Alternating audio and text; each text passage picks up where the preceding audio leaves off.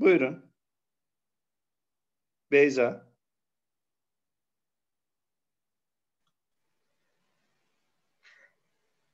Hocam bilmiyorum. Heh, al bir tane daha. Keklik. Keklik gibi. Keklik. İyi bak. Hiç dikkatini çeken bir şey yok mu? Yok. Gerçekten mi? Gerçekten. Ben tam olarak polinomu da bilmiyorum ya. Anlamamışım. Günaydın.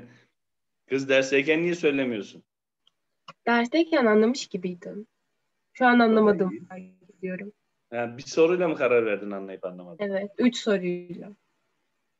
Oo, demek ki güzel sorular seçmiş. Bunların hepsi çeşit çeşit. Yazıyorsun değil mi? Soruları. Yaz Hı hı. bakayım yine. İşte iyi ki böyle yapmışız o zaman. Bol bol. Tekrar. Zaten konu çıkaracaklar herhalde.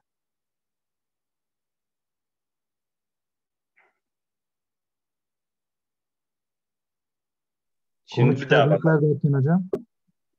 Herhalde yine limit türev integral bir gidebilme durumu var. Hmm. Okullar açılmazsa eğer yani öyle bir şeyler olabilir. Belli olacak işte bu haftalarda herhalde konu dağılımları açıklanacakmış.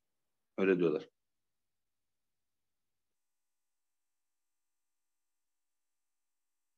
Hadi Beyza'cığım. Şimdi hiç dikkatini çeken ne var?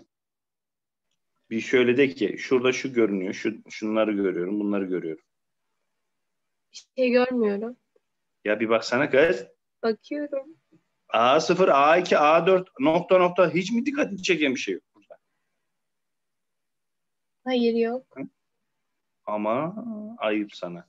0, 2, 4, 6 nokta nokta 24. Bunlar nasıl sayılar? Çift. Polinomlarda çift terimleri nasıl buluyordun? Hatırlamıyorum. Ben daha çalışmadım polinoma. Aman ayıp sana kız. Daha gelemedim oraya kadar. Tamam canım. Şimdi hatırlatma yapalım o zaman. Hadi notlarını al. Eminim bir sürü arkadaşın da çalışmamıştır. Şimdi çift terimlerin toplamı P1 artı P eksi 1 bölü 2 ma yaparak buluyorduk değil mi? Polinoma x gördüğümüz yere bir 1 veriyorduk. Bir eksi 1 veriyorduk. Toplamların yarısı çift oluyor. Örnek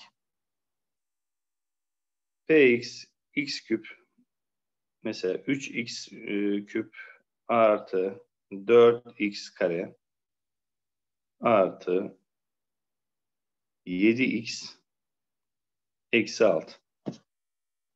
Şimdi bunun tek derecelilerinin katsayıları toplamı ne?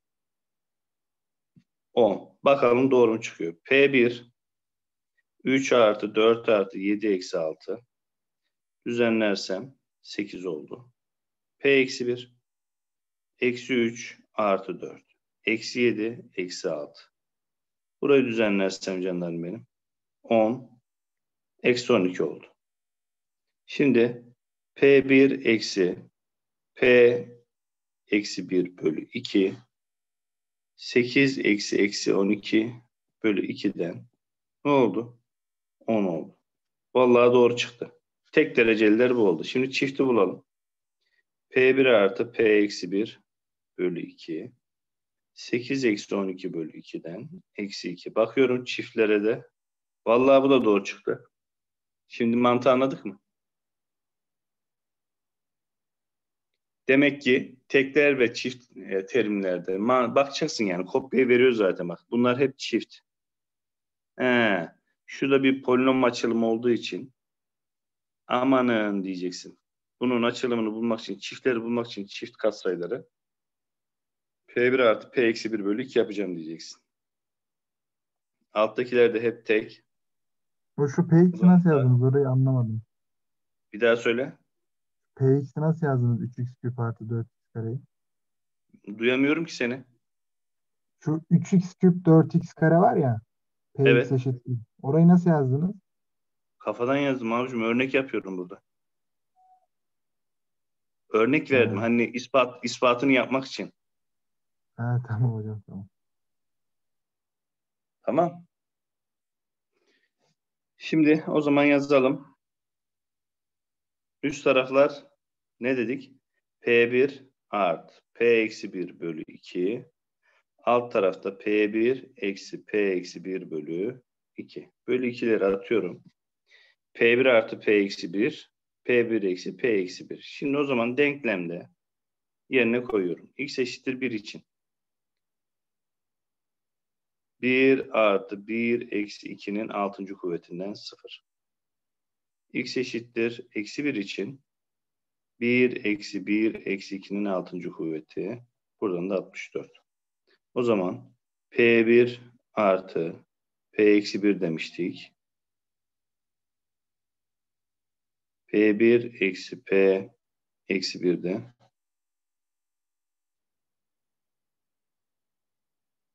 oran ne oldu? Var mı anlamayan?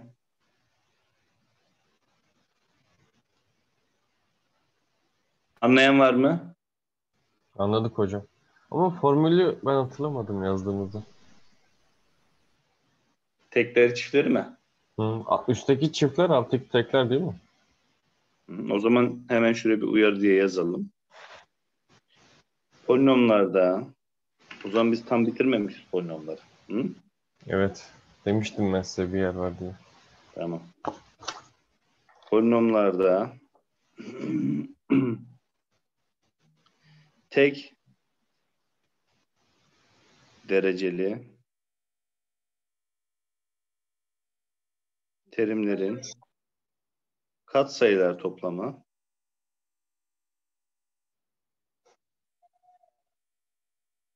P1 eksi P eksi 1 bölü 2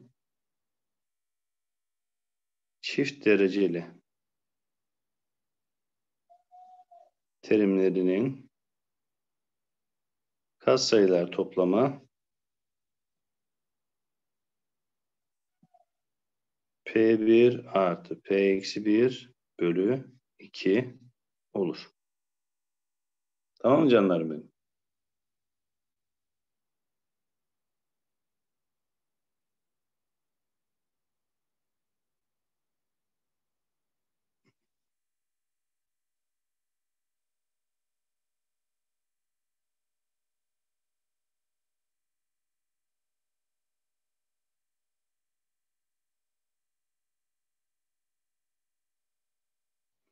Yazdık mı? Bir saniye hocam.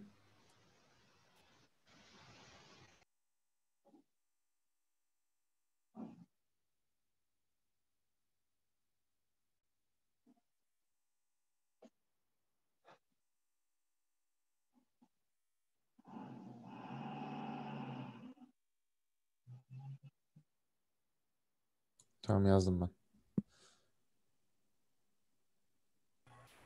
Hocam bir dakikacık. Bekliyorum canım benim. o kalbi Merdo sen mi koydun? Ben koydum hocam. Nasıl yapıyorsunuz onları? Burada bir Bilgisayarda şey mı? var. Onun bilgisayarda. Hı, nereden yapıyorsunuz? Nereden? Şu hı. hocam Batuhan senin İngilizceni iyi sen konuş. Ne? Hocam şu yukarıda bir şey var ya. View Options Noktalar diye bir mı? yer var. Nerede? Bir daha söyle Merdo. Hocam Batuhan sen- yukarıda aynen benim. Hı. Yukarıda böyle yeşil bir şey var. Onun yanında View Options diye bir şey var hocam. Ona tıklıyorsunuz. Ha şimdi kapandı aynen. Şimdi var mı? Yok şu anda yok. Neyse birazdan şey yaparız bakalım. Herkes yazdı mı?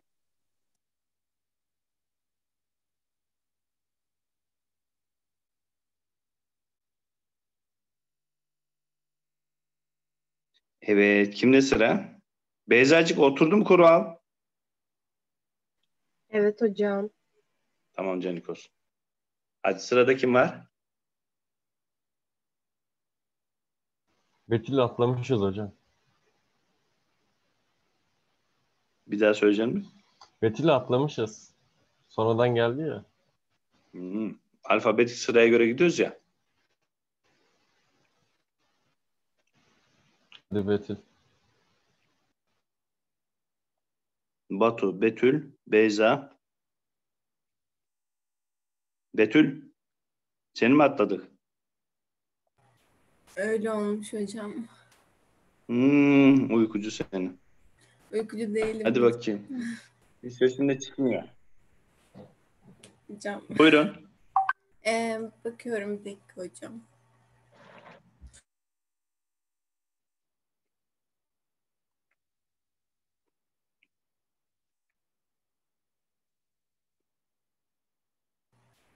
Şimdi ne nereden başlayabileceğim hakkında bir fikrim yok öncelikle hocam. Hı. Ama ne yapabiliriz? Biraz daha bakabilirim.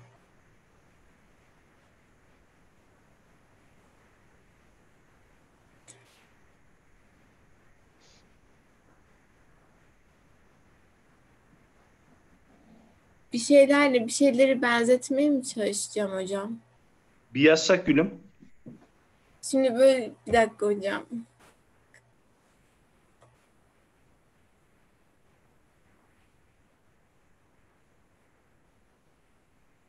Yazmazsak hiçbir şey bulamayız. Doğru mu? Tamam. Şimdi ne demiştim biraz önce ben? Ne demiştiniz hocam? Nereye bakacaktık? Batuhan'la soru çözerken. Hocam ben o sırada geldim. Elimizde bilinen ne var şu anda? Elimizde bilinen Şu yazdığım, PX yazdım. Ne var bilinen?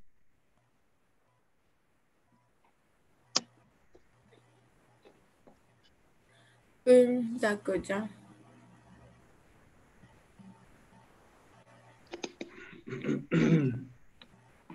Bilmiyorum sanırım hocam. Bir tek burası var. Tamam.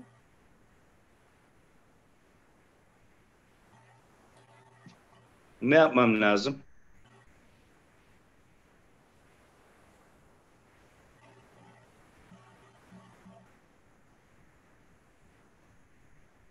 Şurayı sıfırlayan kökleri, çarpandan ayırdığım yerleri sıfırlayan kökleri px'e yerine koymam lazım.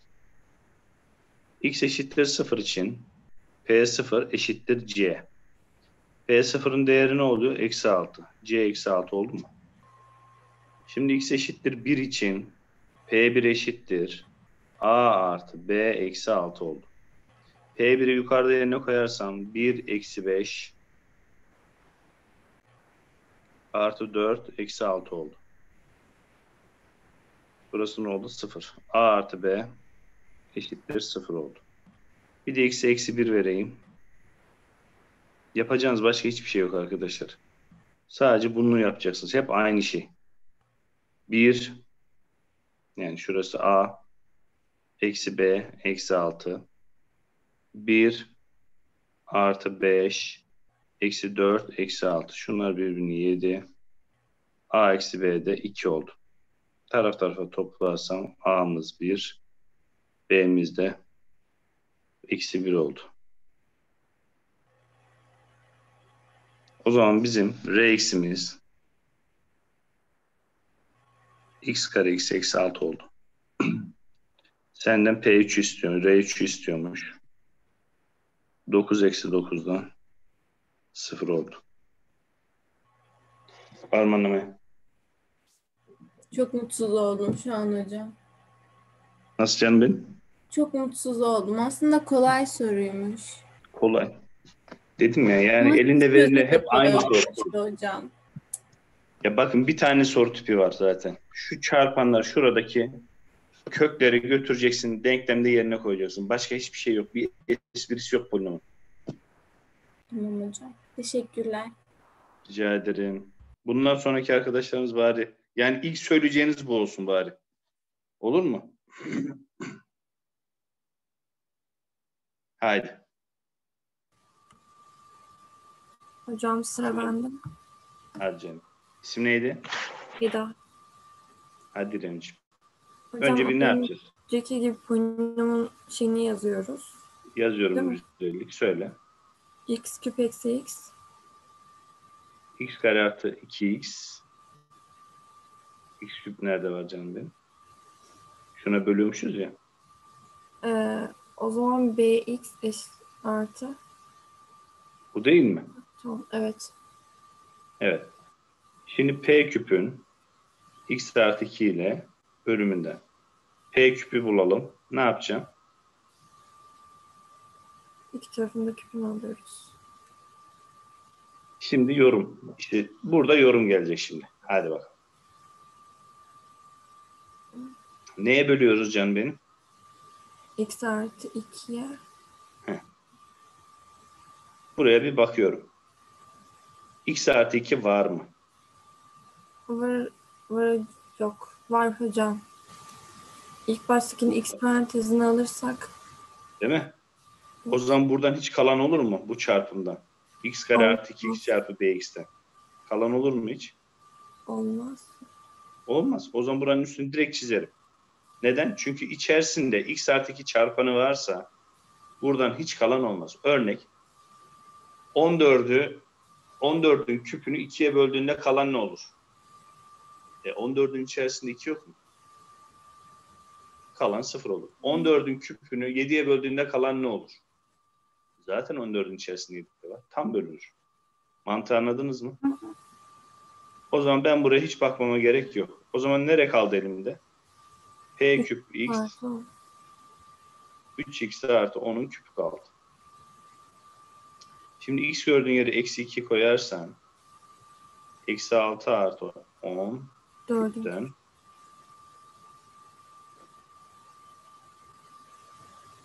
var mı anlamayan? Hocam neden eksi 2 koyduk? Onu Neye bölünüyor? x artı 2'ye bölünüyor. Ne yapıyorduk bölünmelerde? Sıfıra eşitle. X gördüğün yere ne yazacağını söyle. Anladım hocam. Hocam Can. ben biraz dalmışım. Bir tekrar mı etsek ufakta? Oy oy oy oy. oy. Üstün körü. Dalgıçlar. Bir daha söylüyorum şimdi. Önce bir hemen polinomu yazacağız. x kare artı 2x bölümümüz bx kalanımız 3x artı 10. Şimdi p küp x'in x kare artı 2x çarpı bx 3x artı 10'un küpünü alıyorum. Diyor ki bana x artı 2 ile bölümünden kalan. x artı 2 ile bölümünden dendiği için şimdi şurasını önce bir sıfıra eşitliyorum. x göreceğim yere eksi 2 yazacağım diyorum. Daha sonra şunun çarpanlarında eksi 2 olduğu için buradan kalan hiç olmaz dedim. Direkt şuraya bakacağım dedim. Eksi 6 artı 10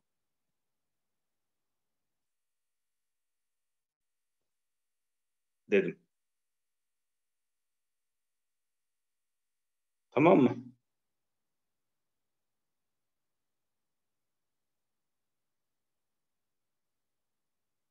Sorusu olan? Yok hocam teşekkür Yok hocam tamam. Tamam canlarım. Evet. Sırada kim var? Arkadaşlar bir rahat olun. Burada puan vermiyoruz, bir şey yapmıyoruz. Açığınızı görelim ki açığınızı kapatalım. Ona göre anlatayım size. Nasıl düşünmeniz gerekiyor sorularda. Tamam mı? Kasılmayın, bir rahat olun. Kimse kimseye rezil olma diye bir durum yok. Saçma sapan da böyle kafanızdan geçer öğrenci milletin. Herkes burada açığını kapatmaya çalışıyor. Niye geliyorsunuz? Bunun için. O yüzden rahat olun. Hadi bakayım.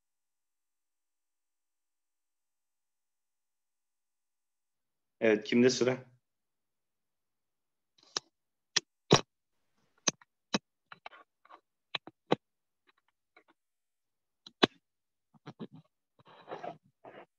Kimde sıra? Eray'da.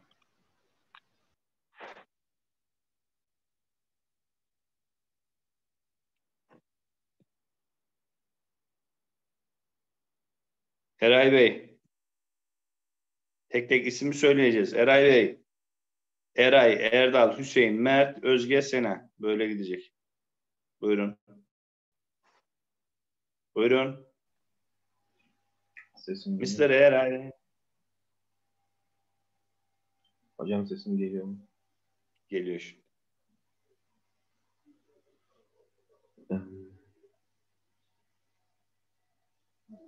Ne düşünelim müdürüm?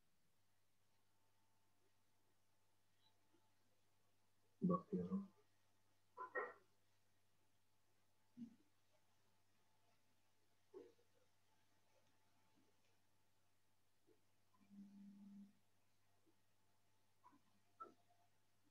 Px'leri x artı 1 mi yaz? Bir daha söyleyeceğim ben. Px çarpı p2x çarpı p3x'e x'in yerine x artı 1 yazmalı mıyız? Hayır. Önce bir PX'i düşünelim bence.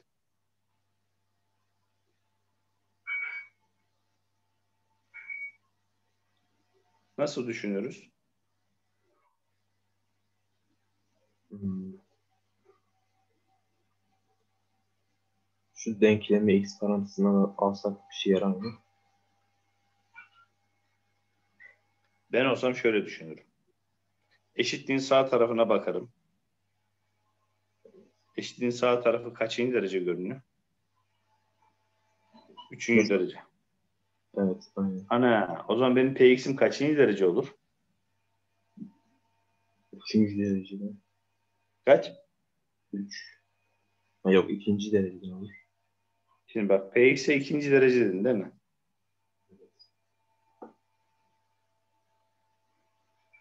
Bu ikinci derece olursa bu ikinci derece. Burada da ikinci derece var. Burada da ikinci derece var. X kare, x kare, x kare çarptığın zaman ne olur? Altıncı derece olur. Tutmadı. Kaçıncı derecedir? altıncı derece. Ne? 6. Abicim x karede 6. derece oldu. 6. derece koyarsan x üzeri 6, x üzeri 6, x üzeri 6 ne yapar? x üzeri 18 yapar. Yani fazla verdin. Kısacası px'in birinci derece diyeceksin lan. İhaleci. Anladım. Tamam mı canım benim? Şimdi çarparsan bunları ax, ax yani şuradan yerine koyup çarptığın zaman üçüncü derece oluyor mu? Evet, üçüncü derece oluyor. Bu bir.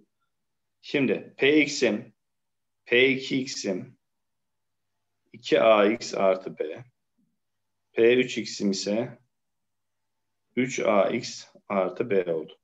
Doğru mu? Evet. Şimdi bunları çarptığımız zaman burada dereceye bakacaksak A gördüğüm yere ne vereyim ki? A gördüğümüz yere hangi değeri verelim ki? 6x küp olsun. A1 için Ee, burası 6x küp tutar. Doğru mu? 1 evet aynen doğru. Demek ki senin px'in x artı b'ymiş abiciğim. Buraya kadar anlaşıldı mı? Bak A'yı buldun. Şimdi B'yi nasıl bulacaksın? B'yi bulurken de sade terime bakacaksın. Sabite. Tamam mı?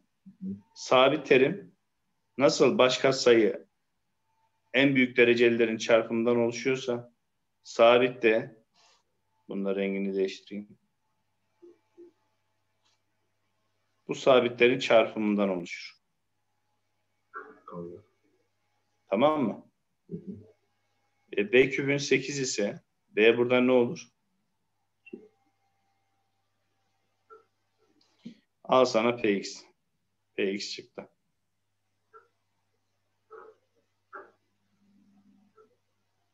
Evet. Şimdi ne istiyor bizden? Px artı 1'in x eksi 2 ile bölümünden. Ne yapıyorduk? X artı 1 Sıfır yazıyor. eşitle. Önce px artı 1 şey yapmıyor muyuz? Ha, onun içine mi? Gerek var mı? Anladım. Direkt x eksi 2'yi sıfıra eşitledim.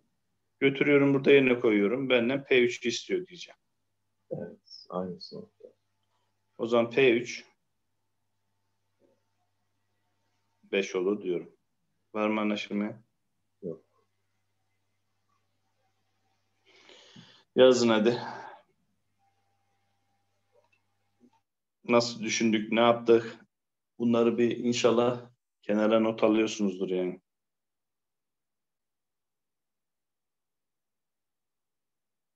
O zaman haftaya da çalışın, haftaya da polinom yap. Çalışmayan arkadaşlar.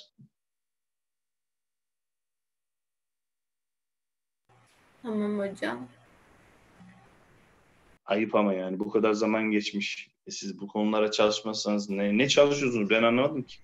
Hocam hele matematik. biliyor musunuz? Dedik ki mesela bir önceki konuda küçük eksiklerimiz vardı. Hemen onları tamamlayalım da böyle tam takır ilerleyelim dedik. Arkadaşlarımızla hatta bunu konuşmuştuk hocam. Ama sonra işte böyle olunca de böyle birden şey olunca gerildik, heyecanlandık da. Böyle bilmiyorum hocam garip bir şey oldu ama haftaya böyle olmayacak gerçekten. Olmaz olmaz. Güzel. Zaten olmaz da eksiklerinizi bak burada bir fırsat daha doğdu o zaman. Bir hafta daha kazandınız. Haftaya bir hafta daha kazanacaksınız. O zaman bu iki hafta boyunca neyiniz eksikse benim dersimle ilgili tabii. Bakın haftaya da işte fonksiyon karma yapacağım. Hatta sorular da şimdiden yollayayım da bari evden uğraşın.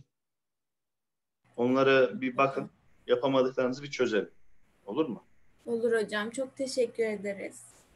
Rica ederim. Eksiğiniz meksiğiniz kalmasın. Not ala ala gidelim. Not ala ala gidelim. Tamam mı? Söz uçar yazı kalır. Aslında bir nevi Zoom daha iyi de. Neyse. Şimdi çoğu Zoom'u beğenmiyorsunuz o yüzden. Bana sorarsanız not alma konusunda efsane. Geçiyorum. Geçelim Geç. hocam. Değil. Buyurun.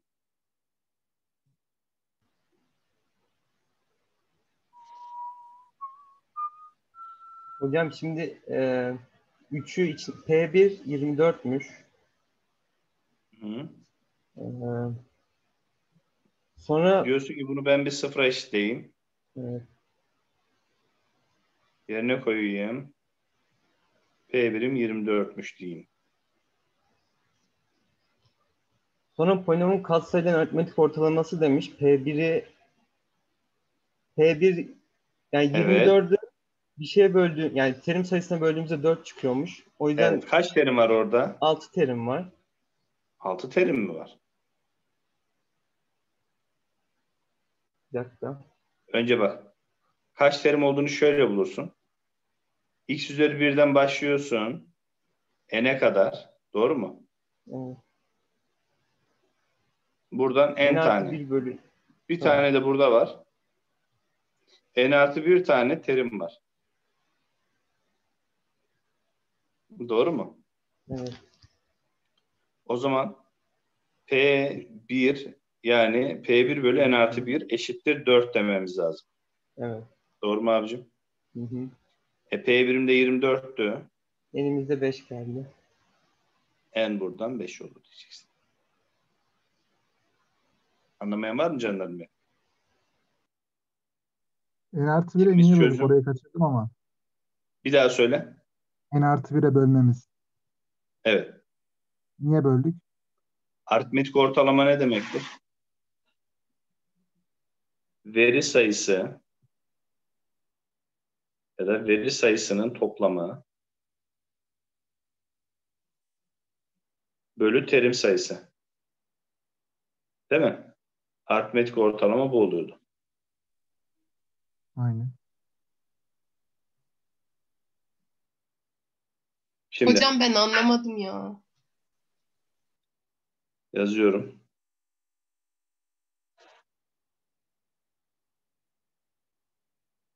Bu niye kalıyor ya? Enteresan. Bunu kim çizdi? Onu bir silsin.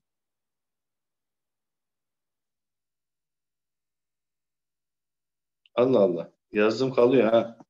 Niye böyle oldu Batuhan? Keşke bilsem hocam. Ne demek bilmiyorsun? Her soruda böyle kalacak mı her yazdığım?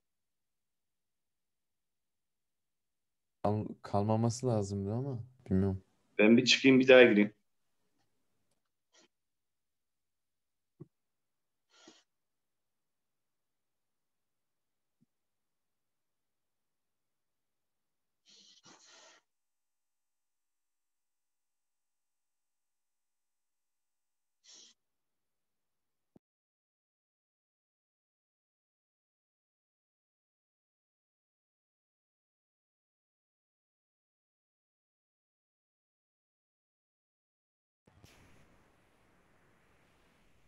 Eray.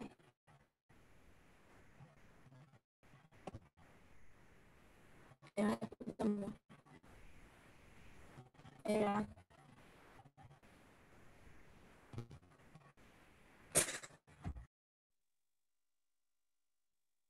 Duydum seni. Hocam. Ne dedin kız?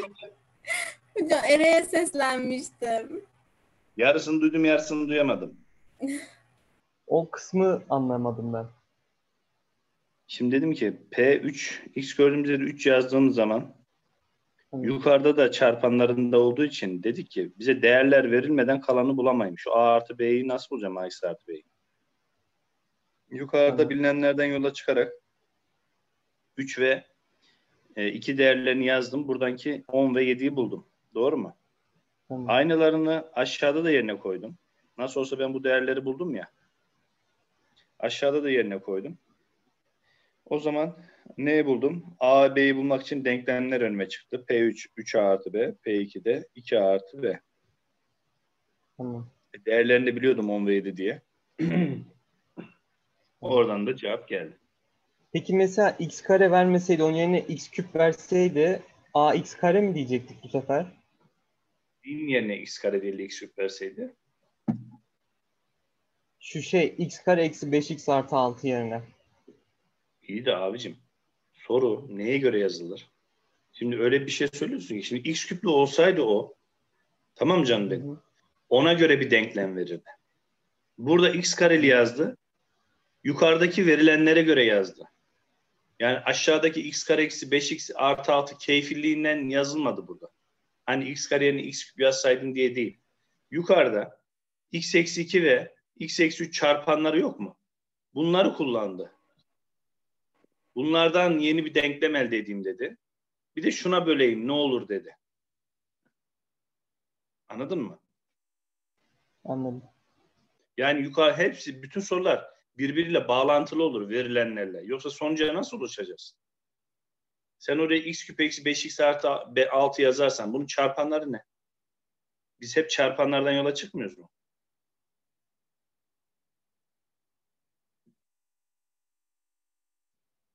Sabahtan beri hep şuraya bakalım demedik mi? İsim neydi? Erdal. Erdal. Hep buraya bakalım demedik mi? Hı hı. E bunun çarpanları ne? Bu. E bunlar da zaten yukarıda vardı. Burada. Yani birbiriyle bağlantılı olur sorular. Öyle kafana göre yazamazsın ki. Tamam mı? Tamam. Hocam bir yazsaydık keşke. Neyi bunu mu? Evet cevabını. Alacağım. Teşekkür ederim. Rica ederim.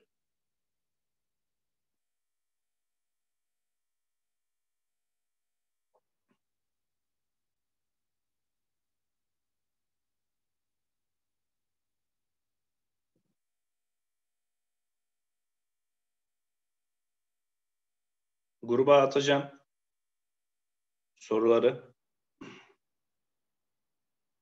Bir de fonksiyonları da atacağım. İyice çalışın onlara.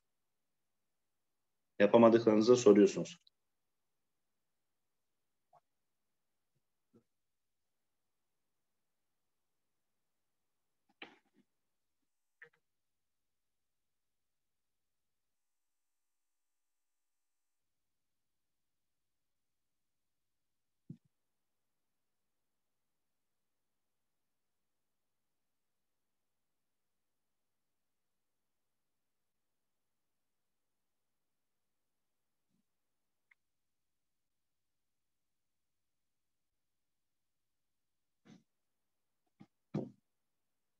Hocam bir daha der misiniz? Sesiniz kesildi gitti bende. Yo bekliyorum. Sizi bekliyorum.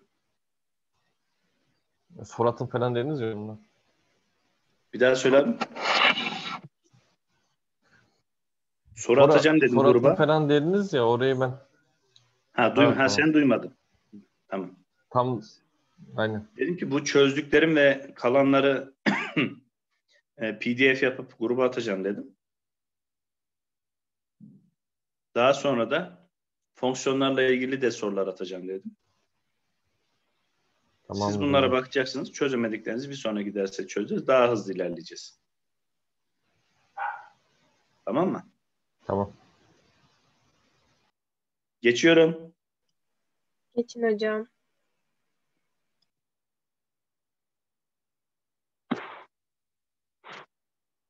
Kimde sıra?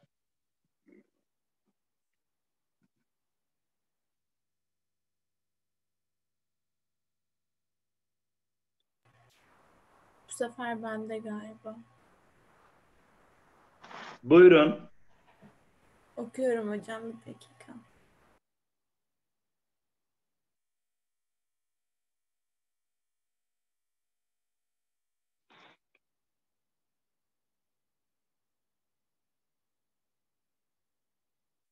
Çok kolay bir soru.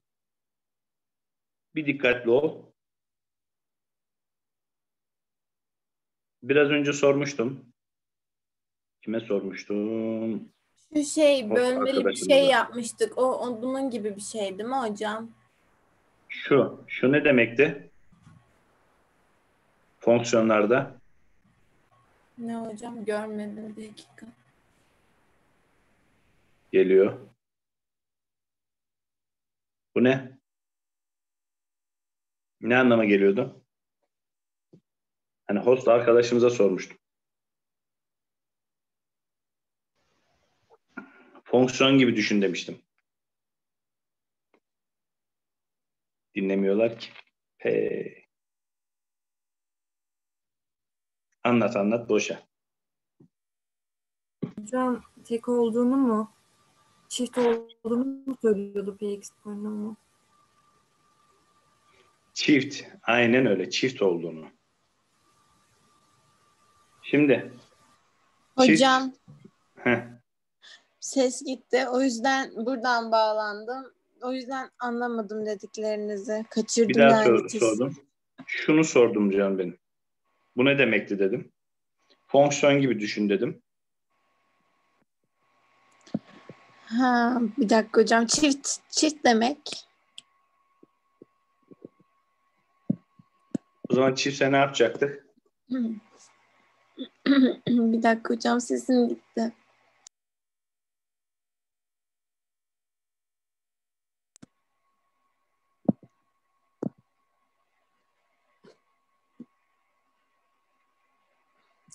Katsayıları toplayacaktık.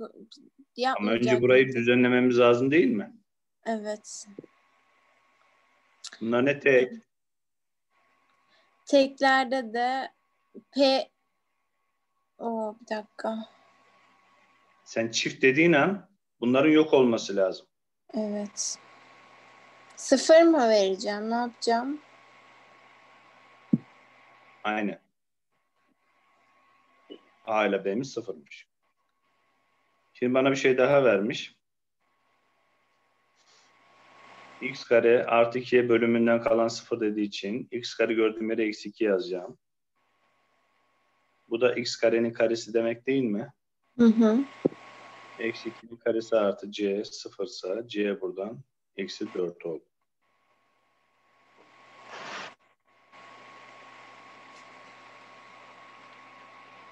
Hocam karesini Canım. alsak olmaz mıydı? Bir daha söyle. Karesini alsak. Kimin? Sıfır verdik ya A ile B'ye. Niye karesini alıyorum onu anlamadım. Bilmiyorum saçma olur. Çift Yok dereceli yok yani. hayır söyle abicim anlamaya çalışayım ki. Söyle de Yok. niye öyle yaptığını anlayayım. Dedim çift dereceli olduğu için karesini alayım. Hepsi çift olsun dedim. Tamam bak şimdi cevap vereceğim şimdi. Px'in x artı 3. Bunun karesini aldığın zaman çifte mi dönüyor? Hayır. Bozdu değil mi? Aynen. Aklınıza ne takılırsa sorun ki cevabını alın. Bir daha böyle düşünmek zorunda kalmazsınız ama aynı zamanda.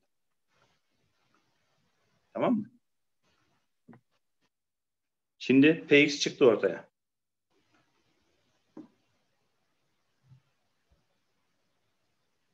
Şimdi benden ne istiyor? Px artı 1'in katsayılar toplamı.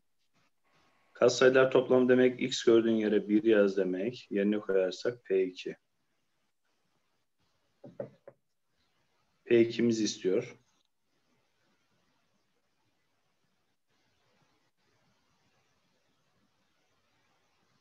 Anlamayan?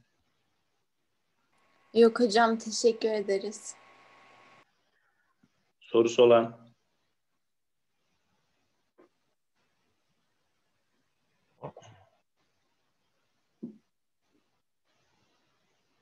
Buyurun.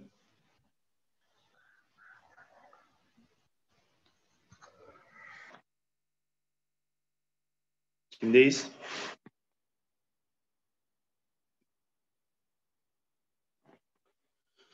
Ay. Beyza var Sırada- herhalde hocam. Kim var? Beyza. Beyza. Hep seninle takılıyor bak Beyza. Bende miymiş hocam? Sende miymiş? Sende. Alfabetik sıraya göre gidiyoruz ya. Tamam hocam. Geberteceğim seni. Önce. Pardon. Okuyayım bir. Sonra cevap vereyim. Zahmet olmazsa. Hadi bakayım. In no sunshine when she's gone.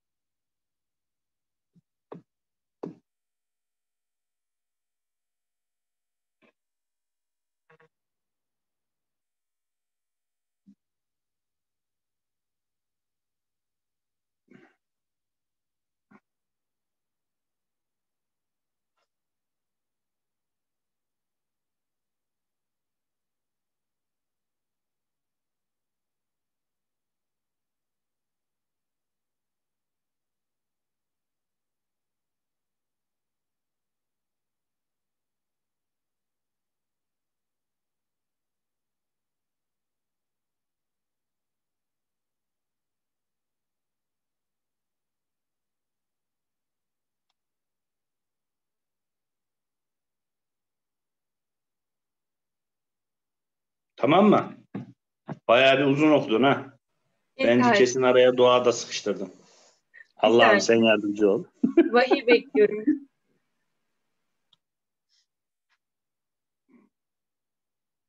Sana da bir güzellik yapayım hadi.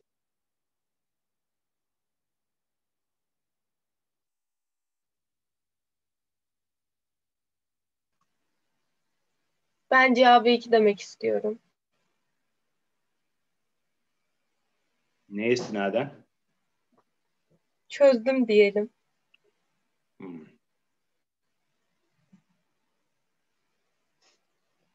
Şimdi köklerinden biri P0'mış. Bunu kullandın mı? Nasıl buldun? P0'ımız ne olur? Hiç sormayın Değil mi? çok saçmaladım. Ama iki buldum. Şimdi bak köklerinden biri P0'ın B'ymiş değil mi? O zaman senin Px'in x eksi B ile şimdi bak burası iptal oldu. Değil mi?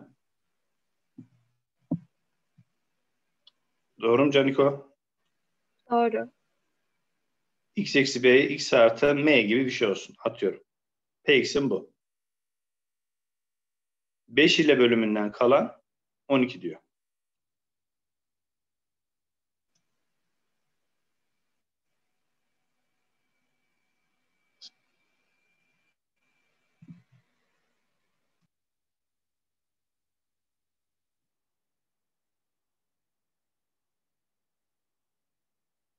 Şimdi ne düşüneyim canım benim?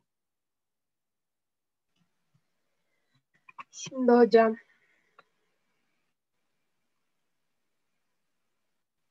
Şimdi ben bir daha düşünüp geleyim mi iki dakika? Oldu. Hadi. Tamam.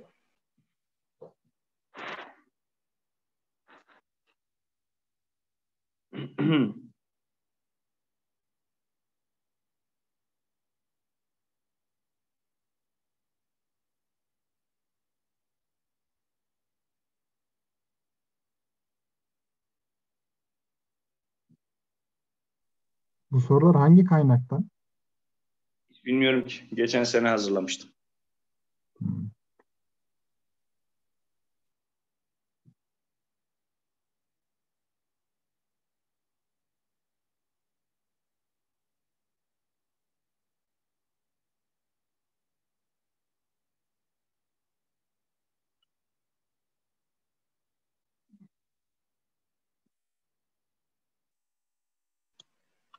Ben bir sonuca varamadım. Tamam.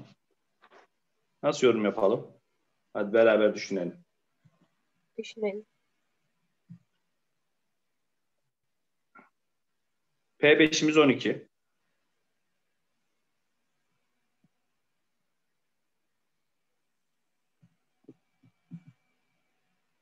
Bizden 3'ü istiyor.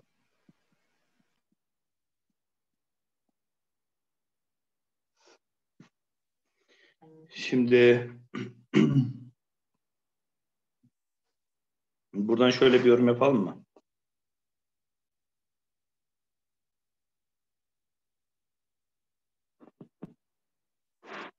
Beş koyduğum zaman 12 veriyorsa köklerinden bir de P sıfırsa ben şöyle diyeyim. B'yi yazdığımız zaman X gördüğümüz yere sıfırlayacak değil mi? Hani yukarıda P x'e x kare artı ax artı b yazmıştım. O zaman pb köklerinden biri olduğu için yerine yazdığım zaman b kare artı a b artı b gibi bir şey oldu. Değil mi?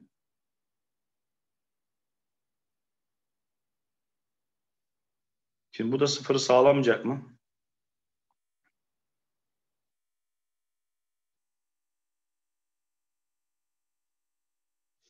O zaman B artı A'mız eksi 1 de olabilir. Şuraya ben düzgünce yapayım.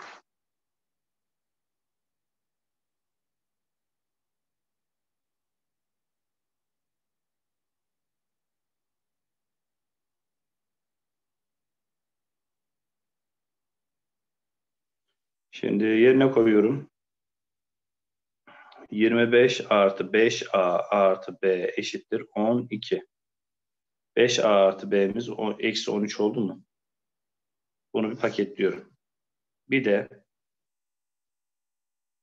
sıfır yazdığımız zaman yani PB'miz köklerinden biri dediği için sıfır olacağı için B kare artı AB artı B'miz de sıfır. Şimdi şurayı eksiyle çarparsak buradan bulabilirim. Ya da şuradan değer vererek yapabilirim. Olabilir diyor ya arkadaşlar. Ben buna 2 verirsem eksi 3 değil mi?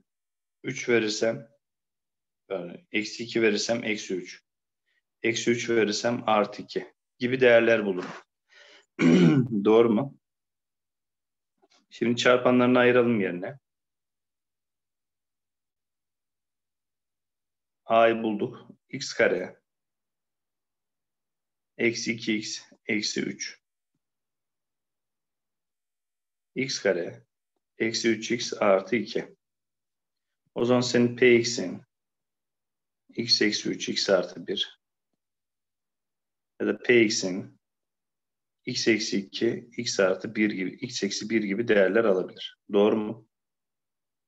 Şimdi 3'ü yerine koyduğun zaman P3'ün 0 alt tarafta yerine koyduğun zaman P3'ün 1 çarpı 2'den 2 değerini alabilir.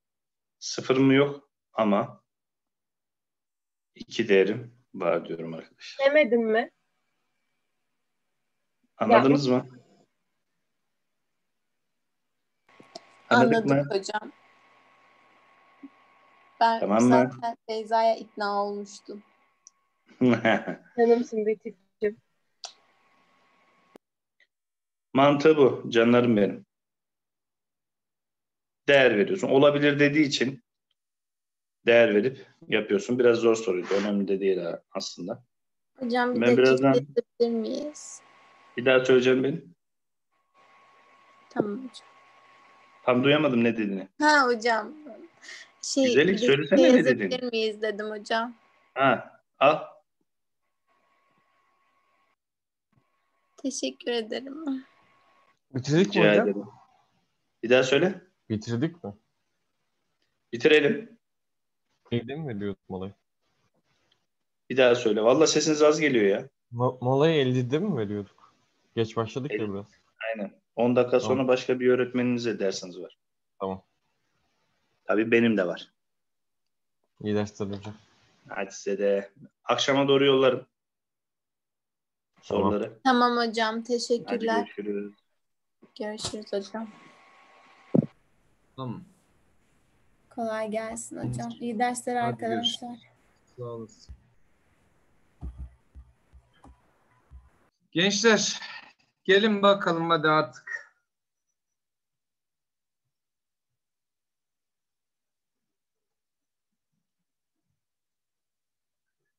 Eray.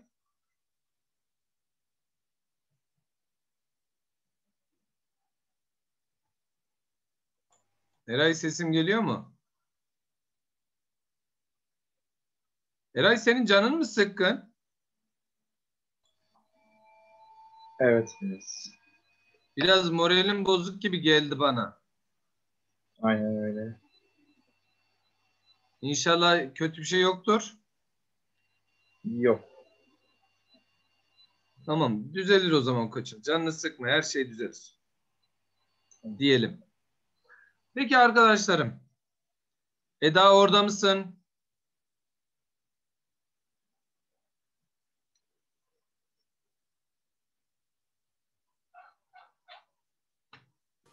Geldim hocam. Tamam. Ekrandaki A eksi B'yi görüyorsunuz değil mi arkadaşlar? Şimdi özel durumlar diyelim. Özel durumlar. Hatta bunu şimdi şu anda şunu işaretleyince boş sayfa geldi mi size? Gelmedi. Ekranda hala boş sayfa yok değil mi? O zaman Yok. geri kapatıp tamam. O share screen yaparken o boş sayfayı açacağız mecbur. Arkaya atmıyor çünkü. Şimdi gelmiştir.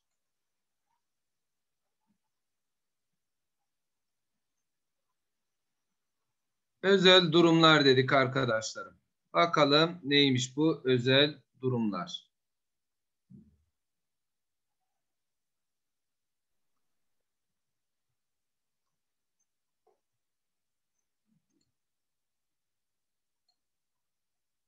Şunu kapatayım öncekini.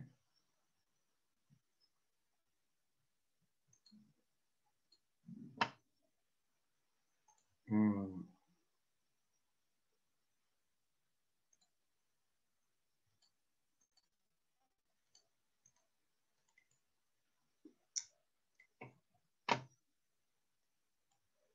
Kalem yavaşlıyor. Bir sayfa daha açık olunca kalem yavaşlıyor. Onun için önceki yazdığımızı kapatıp bir boş sayfa açacağım.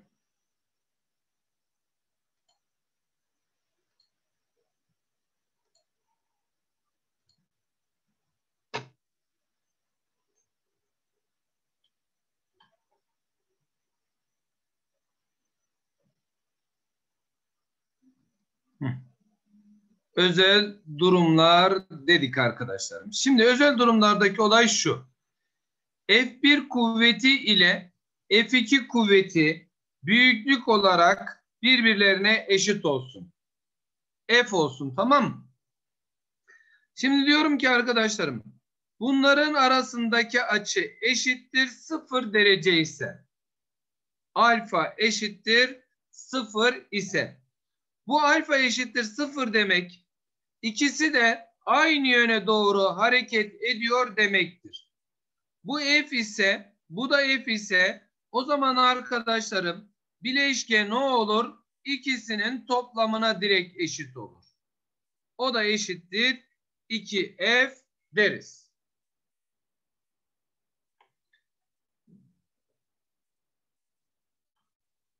Eğer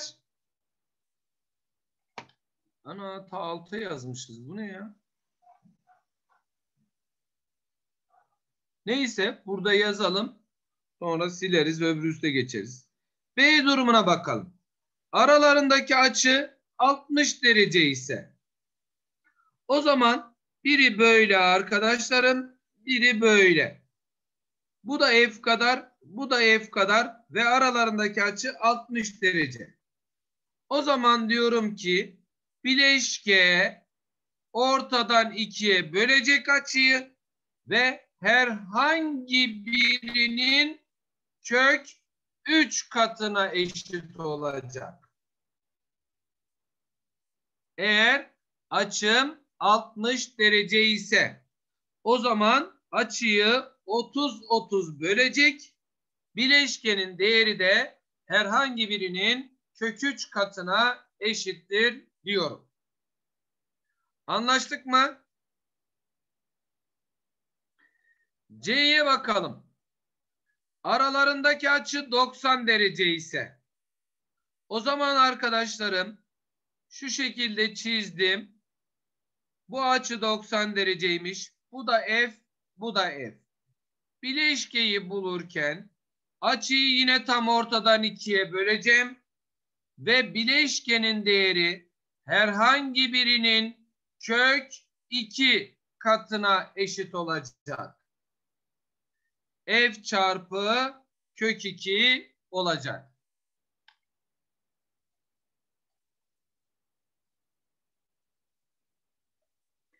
D şıkkına bakalım. Aralarındaki açı 120 derece olsun. Biri böyle, biri böyle o zaman.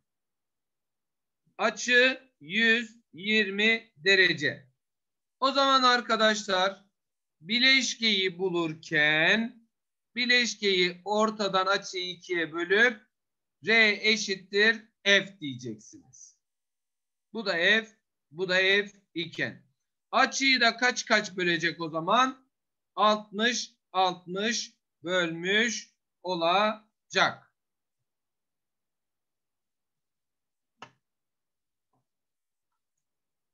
Son durum var. Bunların arasındaki açı E şıkkı olsun o da. Alfam 180 derece ise.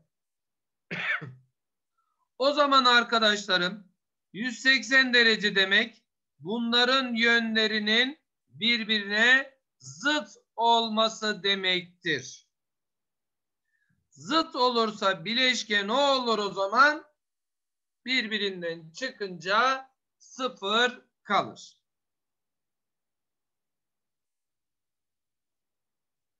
Kafanıza takılan bir şey var mı? O zaman bakın şunların hepsini yazdıysanız yazın bir. Yazdıysanız bu açılara bakarak bir not çıkartacağım. Açılara bakarak bir not çıkartacağız arkadaşlar.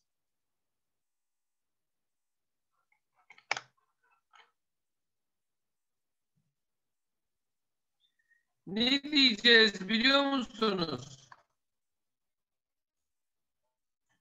İki vektör arasındaki açı büyüdükçe bileşke küçülür. Bunu yazın arkadaşlarım. Özel durumları yazdınız. Altına şunu yazın. İki vektör arasındaki açı büyüdükçe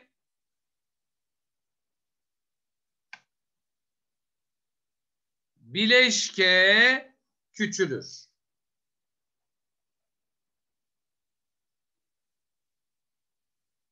İki vektör arasındaki açı büyüdükçe bileşke küçülür. Şunu da yazın arkadaşlar hemen oraya. R yazın. Eşitlik koyun. Arkadaşlarım F1 eksi F2 F1 artı F2 yazın. Eğer aralarındaki açı sıfır derece ise toplayacağım. Aralarındaki açı 180 derece ise çıkartacağım. R bu aradaki sayıların hepsini alabilir arkadaşlar. Mesela F1'in değeri diyelim ki 6 Newton. F2'nin değeri diyelim ki 8 Newton. O zaman bunların alabileceği en küçük değer 8'den 6'yı çıkartıyorum 2. Bunların alabileceği en büyük değer 8 ile 6'yı topluyorum 14. R arkadaşlarım 2 ile 14 arasındaki bütün sayıları alabilir. 2 dahil mi? Evet. 14 dahil mi? Evet. 2 ile 14 arasındaki 6 8 için konuşuyorum bak. 2 ve 14 arasındaki bütün sayıları alma ihtimali var arkadaşlar. Açıya bağlı olarak 2'den daha küçük bunun için 2'den daha küçük 1 olamaz. 14'ten daha büyük mesela 15, 16, 20 olamaz arkadaşlar. 2 ile 14 arasındaki bütün sayılar alınabilir. 2'yi ne zaman alacak? Aradaki açı 180 derece ise alacak. 14'ü ne zaman alacak? Aralarındaki açı 0 derece ise. Açı değeri büyüdükçe bileşkenin değeri de ne oluyormuş? Küçülüyormuş. Anlaştık mı? Var mı kafanıza takılan bir şey?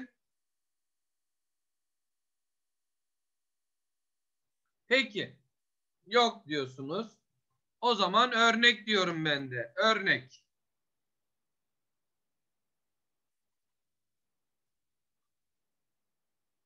Bunları aldınız değil mi arkadaşlarım? Aldık. Almayan var mı? Mert aldın mı? Aldım hocam. Peki. Eren? Aldım hocam. Heh, sesini duymak için sordum zaten Eren.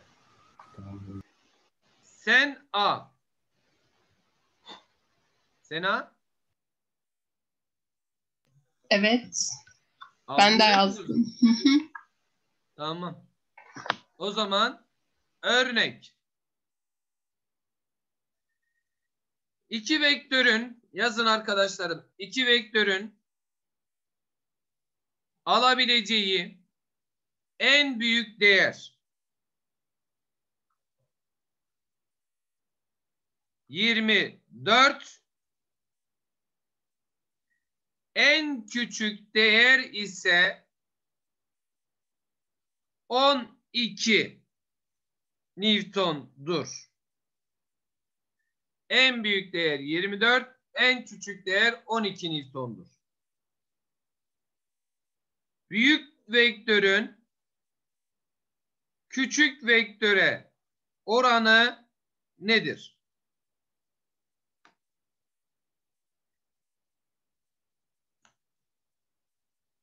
Büyük vektörün küçük vektöre oranı nedir?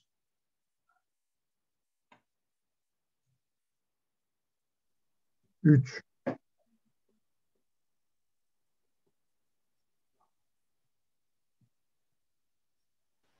Ben de 3 buldum.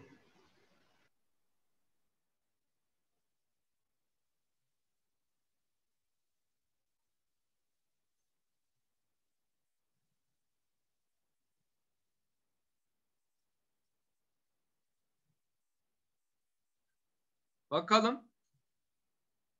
3 müymüş? Şunları bir temizleyeyim.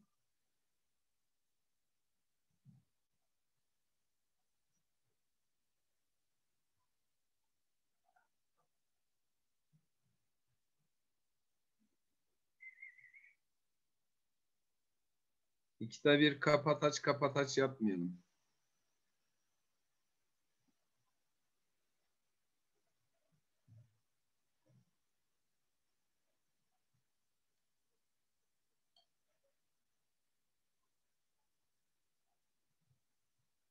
Tahtayı da sildik.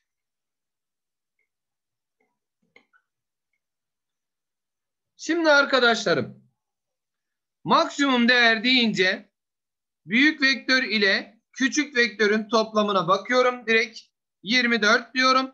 Aralarındaki açı 0 derece oluyor.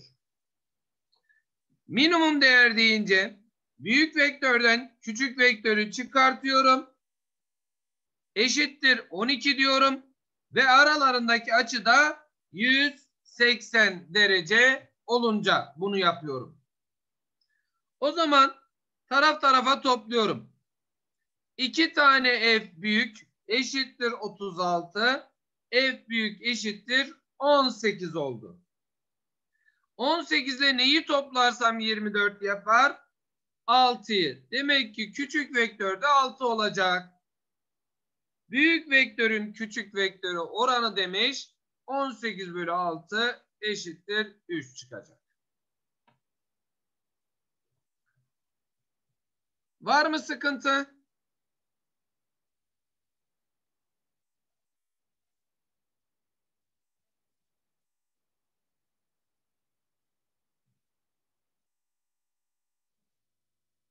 Yok. Peki. Çözümü alın. Aldıysanız yeni bir soru.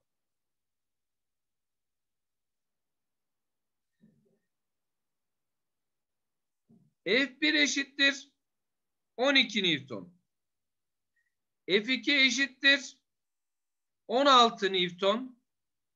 F3 eşittir 24 Newton.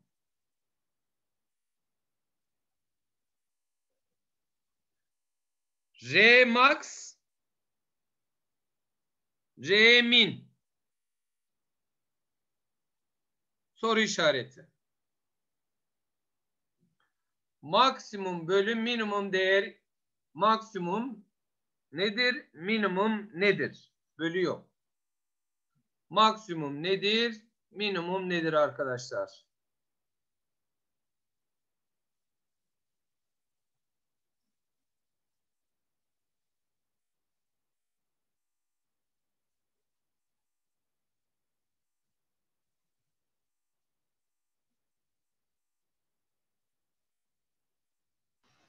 Hocam.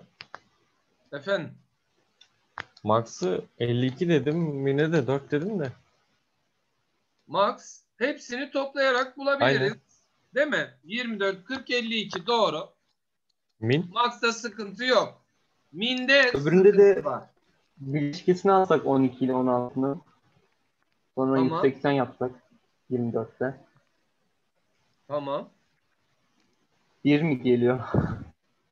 Ama 90 iken 20 gelir başkan. Hmm. 12, 16, 20 diyorum. Senin 90 derece ise 12, 16, 20 olur. Ama 90 derece olup olmadığını bilmiyorum. Evet. Başka ne olabilir?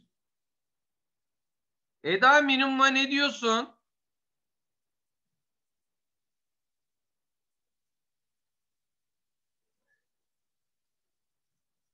Eda bir dudak hareketiyle geçiştirdi. Bulamadım hocam. Hüseyin? Hocam acaba hani olabilecek değerleri mi söyleyeceğiz ki? Yok. Minimum kaç olur diyor. Sana hangileri Direkt olabilir tek demiyor. Değer mi çıkıyor? Tek değer. 4. 4. Eray 4 mü diyor? Eray Evet hocam. 4 diyorsun. Peki. Bel- belki mesela F1, F3 toplayacağız 16'dan çıkaracağız. Bunu bil- bilmiyoruz ki. Ha işte. Tamam. 4 Nasıl yapacağız? mı? Hayır. Bir. Eksi olabiliyor mu hocam? Eksi olmaz büyüklük. O zaman 1 mi? 1 mi bilmem. 0 da olabilir aslında. 0 da olabilir değil mi? Evet. Bak şimdi nasıl çözüyoruz kuzular? Şimdi herhangi ikisini bana söyleyin. Hangi ikisini derseniz ondan yola çıkacağım. Seçin. 24 ile 12 olsun hocam. Tamam. 1 3 mü? Aynen. R 1 3. Bileşkesi kaça kaçtır bire, bileşkesi? 24 ile 12'nin farkı 12, toplamı 36. Bu 1 3'ün bileşkesi 12 ile 36 arasındaki bütün sayıları alabilir mi? Evet alabilir değil mi? O zaman üçüncü vektör yani F2 vektörü 16 olduğu için ben R1 3'ü 16 seçiyorum. 16 olduğu için tamam mı? 16 seçtim. Bu 16 ile öbür 16'yı da zıt seçtim. Minimum kaç oldu o zaman? 0.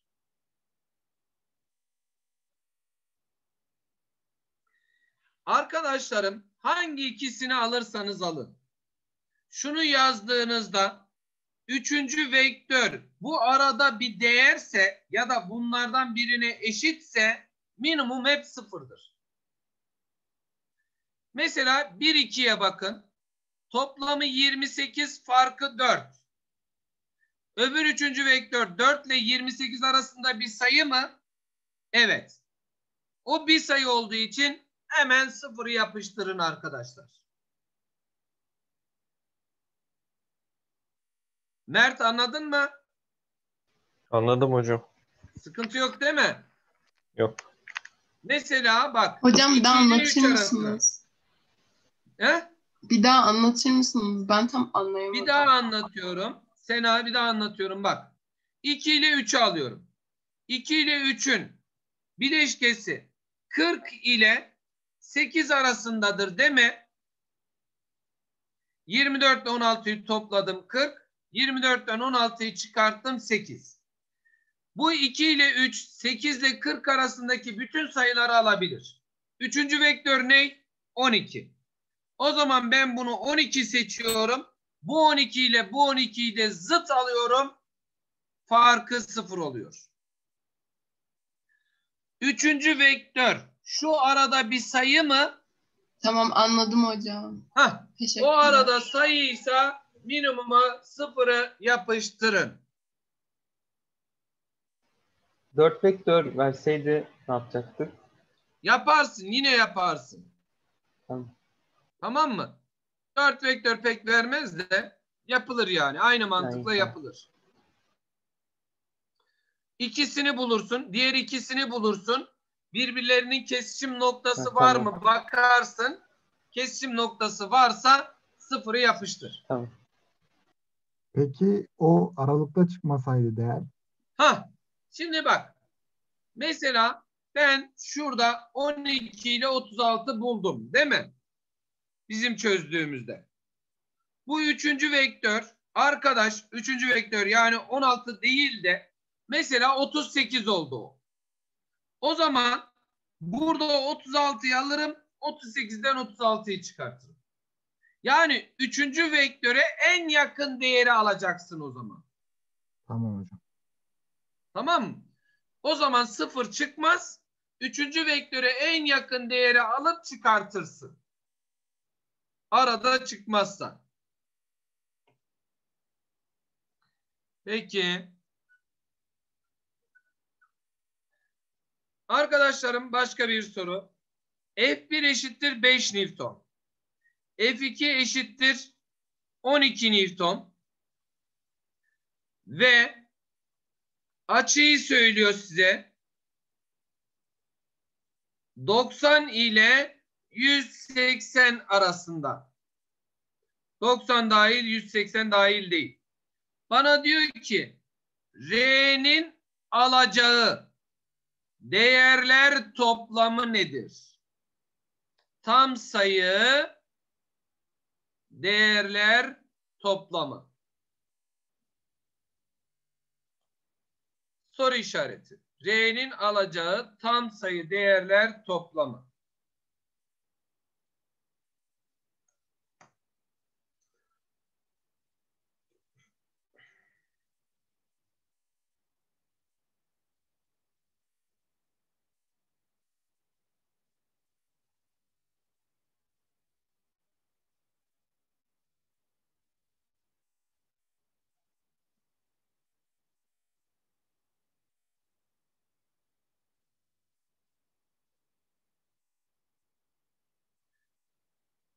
Soruyu aldınız değil mi? Ben alt taraf temizleyeyim de. R'nin alacağı tam sayı değerler toplamı diyor.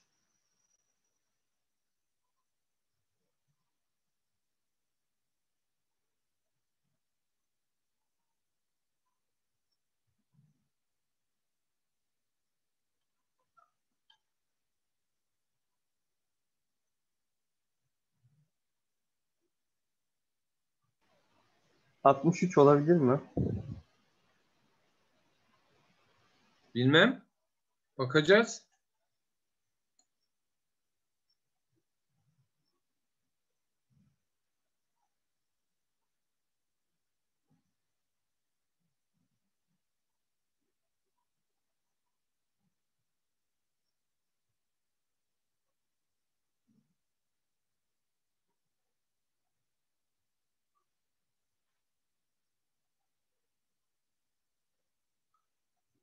Bu başka soru. Bununla onun bir alakası yok.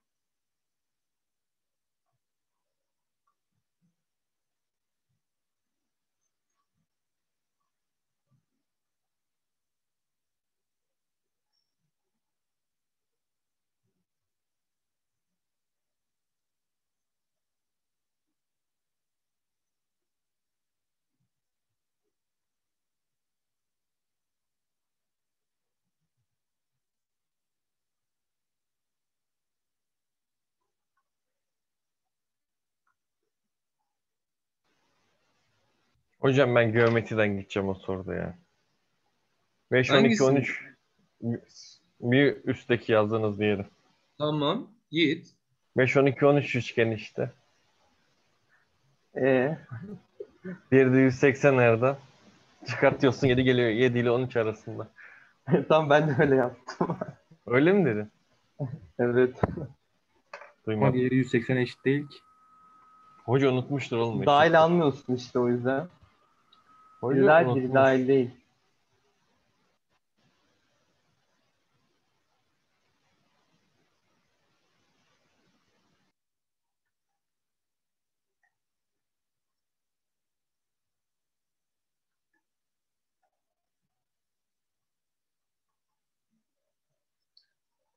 Peki. Bakalım kaç buldunuz arkadaşlarım?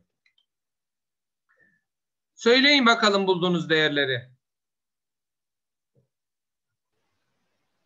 İşte ben 63 buldum. Erdal 63. Mert de 63 buldu eğer benim gibi yaptıysa. Aynı hocam. 63. Aynen 63 hocam. 63. Batuhan Hmm. Ben de o... o- Hmm. Bilemedim. bilemedin. Hüseyin sen kaç buldun? Ben de 63 dedim ama hocam böyle sorduğunuza göre şüphelendim Ha ama 63. Yok bilmiyorum cevabı. Eren Hocam ben de 63 diyeyim ama emin değilim yani. Peki bakın. 90 derece olsa 5 12 ne üçgeni var? 13 var. 13. 90 derece olsa 13. 180 derece olsa kaç olur? 7. 7. 7. 7. Doğru diyorsunuz. Açıyla ters orantılı olduğu için R'yi çevirdim böyle. R 7 ile 13 arasındaki sayılar 13 dahil olmak üzere alacak. Değil mi? Hı hı. 8'i alacak, 9'u, 10'u, 11'i, 12'yi, 13'ü alacak. Toplayalım şimdi. 8, 17, 27, 38, 50, 63. Aferin Erdal. Evet. 63 oldu. Var mı sıkıntı arkadaşlarım? Peki. O zaman şu soruyu alın. Geçiyorum bunu. İtiraz olan yoksa.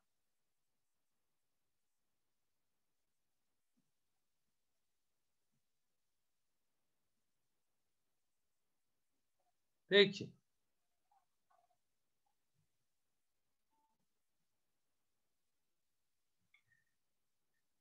Birim çember merkezine vektörler koymuş. X, Y, Z vektörleri vermiş. Bu yargılardan hangileri doğrudur demiş. 2 ve 3 diyorum. Buna iyi bakın diyorum ben de. Bu güzel bir soru.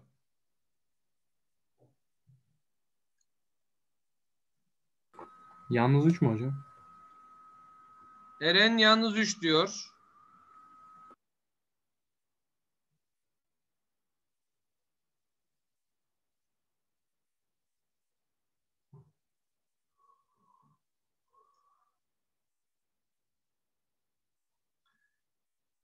Biz Sena'yı göremiyoruz. Camı görüyoruz ya. Camlı ders yapıyoruz herhalde biz. Aa. Sena Hocam var. bilgisayarımın şeyi durmuyor. He, kardeşin nerede? O içeride o da kendi dersinde. Dersi var değil mi Allah'tan? Evet. Ders olduğu için seni serbest bırakıyor desene. Evet hocam ya. Zaten bir, bir şey açayım. Odamda olmasa bile bir mikrofonu açayım hemen koşa koşa geliyor.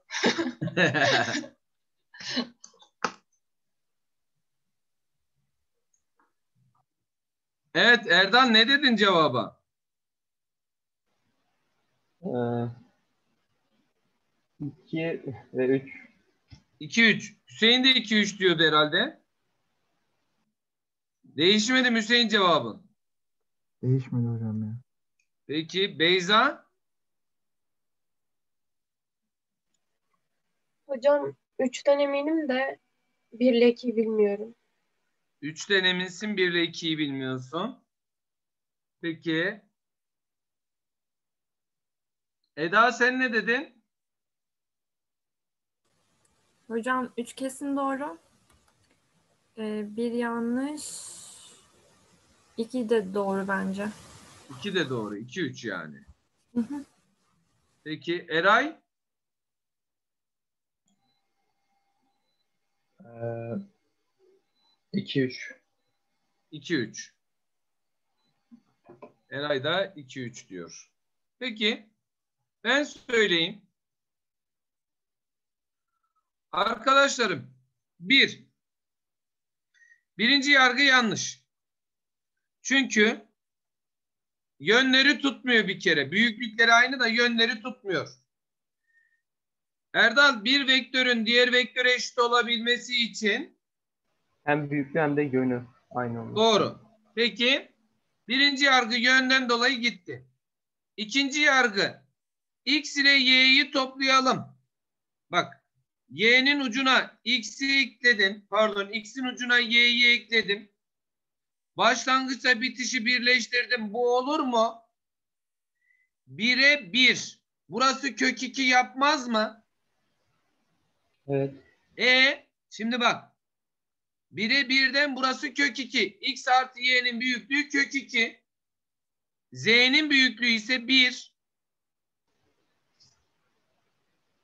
O zaman doğru değil bu. 1 mi?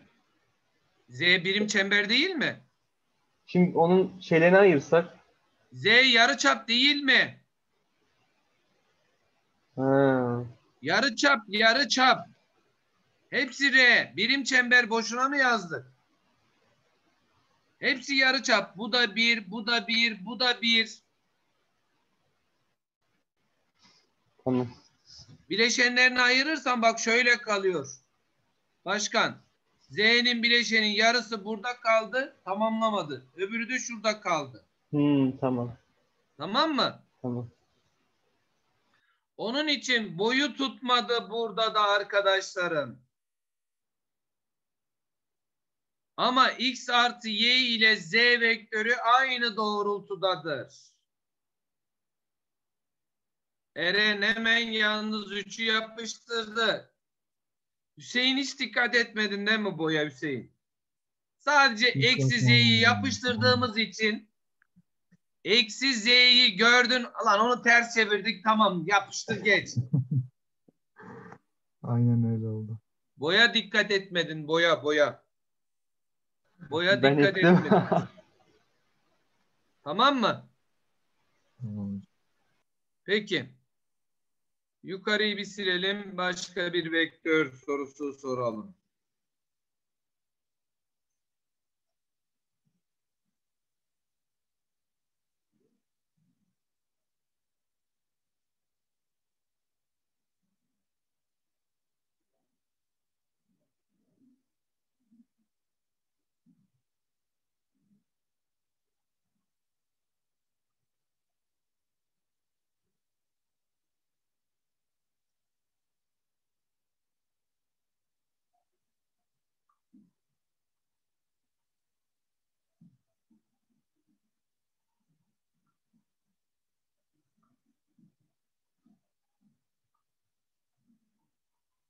R vektörü bileşke vektör isteniyor sizden.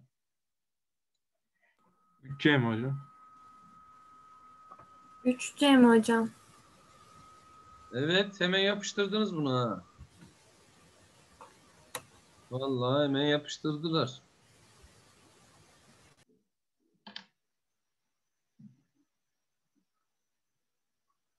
A ile B'nin bileşkesi bir C yapar. D ile E'nin bileşkesi bir C daha yapar. Bir C de kendisinde vardı. Değil mi? 3C. Doğru. Hiç zaman bile geçirmediniz. Peki. Şunu bir sileyim ben o zaman. Yani siz ona bakın ben bunu sileyim o siz çözene kadar. Oo, hoca hemen hallediyoruz biz diyorlar ya. Peki.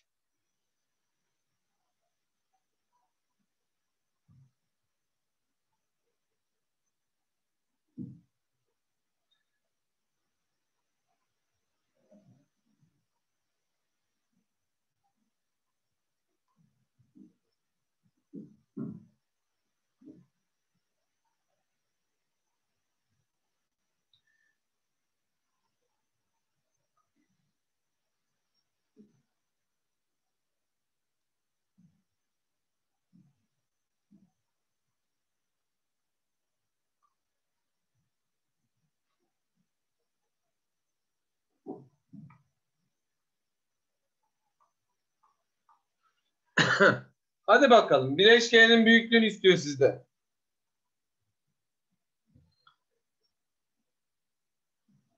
R bileşkenidir.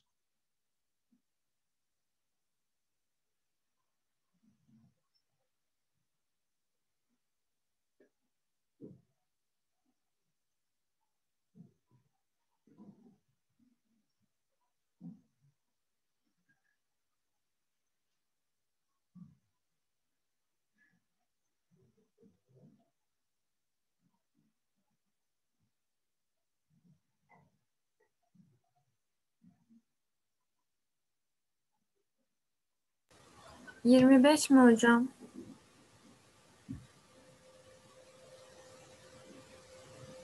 Kaç? 25. Eda? 25 mi diyor? Bileşke toplamı. Kada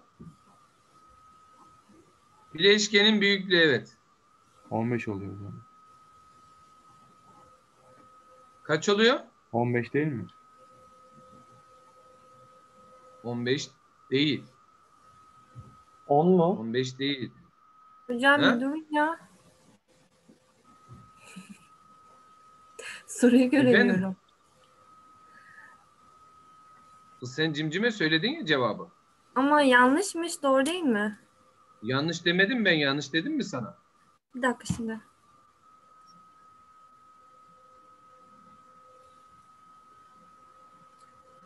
Dayanamıyorum söyleyin hocam.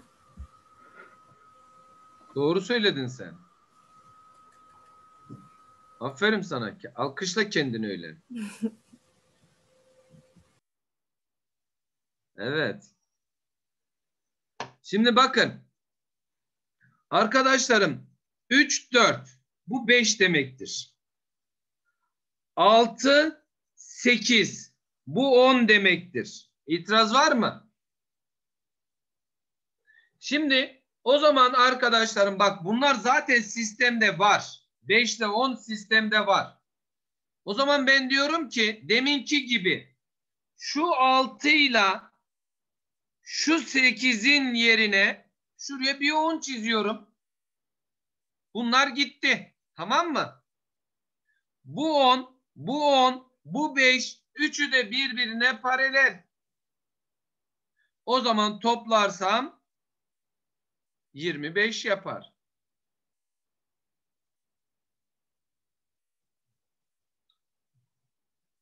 Anlaştık mı?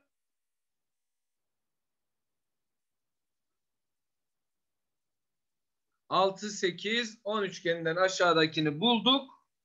Oradan bir on, bir on daha yirmi. Bir de yukarıda beş var. Bunların üçü de aynı yönlü.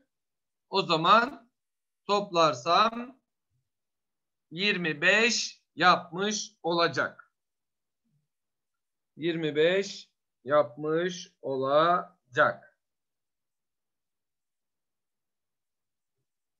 Peki. Başka bir soru soralım.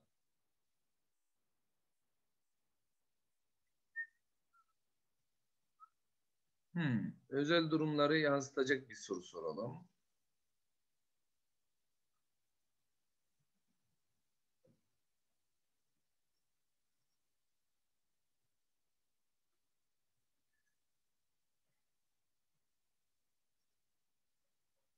Bak, yukarıdakini sildi geri.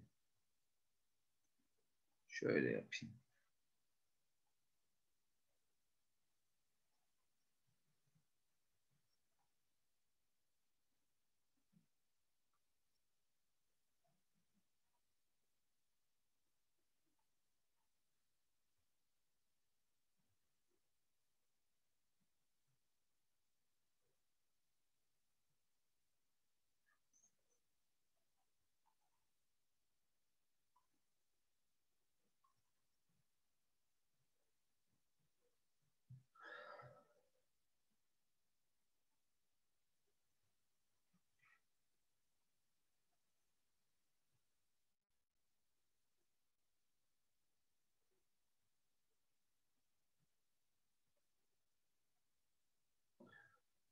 Beş, sekiz, on bir açılar verilmiş. 120, 120, 120.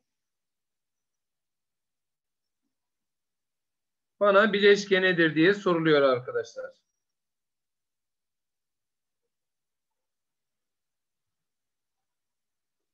Sıfır olma şansı var mı hocam? Yok. Hadi ya. Hı hı. Sıfır çıkmaz bu.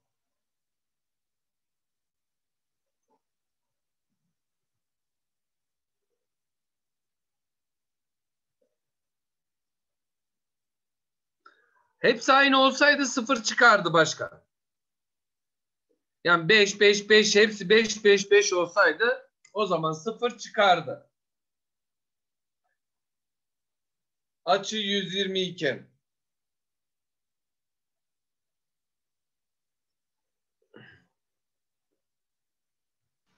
Dört mü hocam?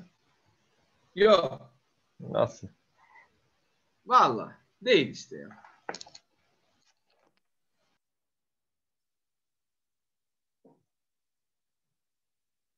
Dört de değil. Hocam şey Heh. soracağım. 6 3 arada 120 derece varsa nasıl yapacağız onu? 6 3 arada 120 varsa o 6'yı 3 3 diye parçala. Hmm, 3'e 3 120 iken 3 mi gelir? Öyle düşün. 3 mü cevap? Hayır. O Büyük altı- kalıyor ya. Büyük Hocam daha 3 kök kalıyor. 3 mü? 3 kök 3. Kim söyledi o 3 kök 3'ü? Sena mı söyledi?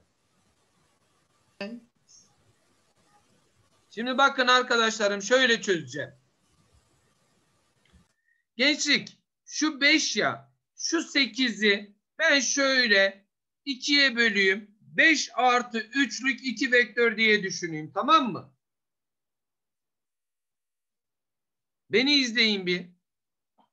Arkadaşlarım bilgisayara bir bakın.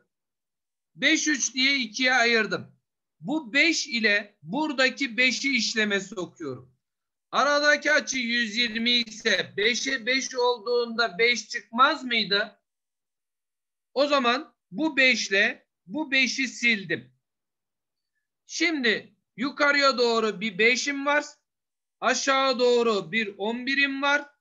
Ve şurada da unutmuyorum bir 3'üm var. Şu 5 ile 11 tam zıt. Tam zıt olursa o zaman aşağı doğru ne kalır? 6 kalır. Şu tarafa doğru ne kaldı? 3 kaldı. Açı kaç derece? 120 derece.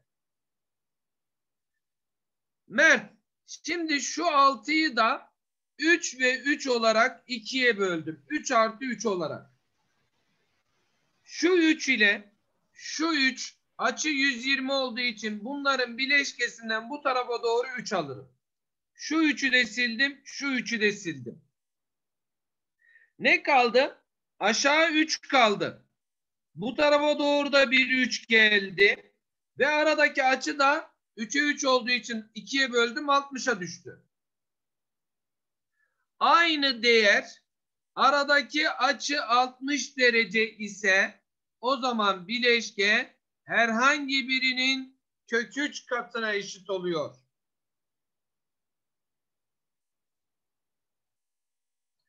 O yüzden cevap 3 kök 3 çıktı. Bir şey daha öğreteyim. Bakın bir. 3 kök 3'ü gördüm. Arkadaşlarım 5, 8, 11 soruyor değil mi? Aradaki fark kaç? 5, 8, 11'in 3. Hepsinin aradaki fark 3 değil mi? O zaman cevap bu 120'ler verdiyse ama o zaman cevap aradaki farkın kök 3 katı. Yani 5 değil de burayı ben 3 versem, şurayı ben 5 versem, şurayı ben 7 versem 3, 5, 7 arasındaki fark kaç? 2 mi? O zaman cevap bunun 2 kök 3. Mesela 4 verdim, 9 verdim, 13 verdim. Fa 13 değil 14 verdim. Fark kaç? 5. O zaman cevap 5 kök 3. Ama açılar 120 iken dediğim gibi arkadaşlar. Onun için aralarındaki farkın kök 3 katına eşit çıkıyor her zaman. Mesela 1, 2, 3 desem fark 1. O zaman cevap kök 3'tür diyeceksiniz.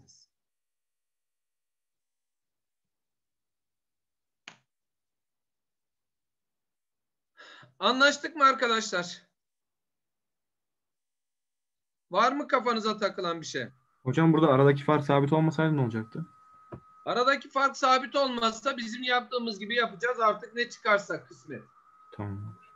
Tamam mı? Bizim yaptığımız gibi yapacağız o zaman.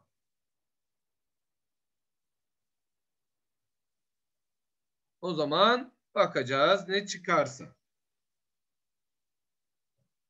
Bu şekilde onun için bu şekilde parçalamayı göstereyim dedim zaten. Parçalayarak yola devam edebilirsiniz. Ya da şunu da yapabilirsiniz gençlik. Şuradan bir koordinat düzlemi atar, açıları böler, ona göre de bileşenlerini ayırarak yapabilirsiniz. Ama uzun sürer.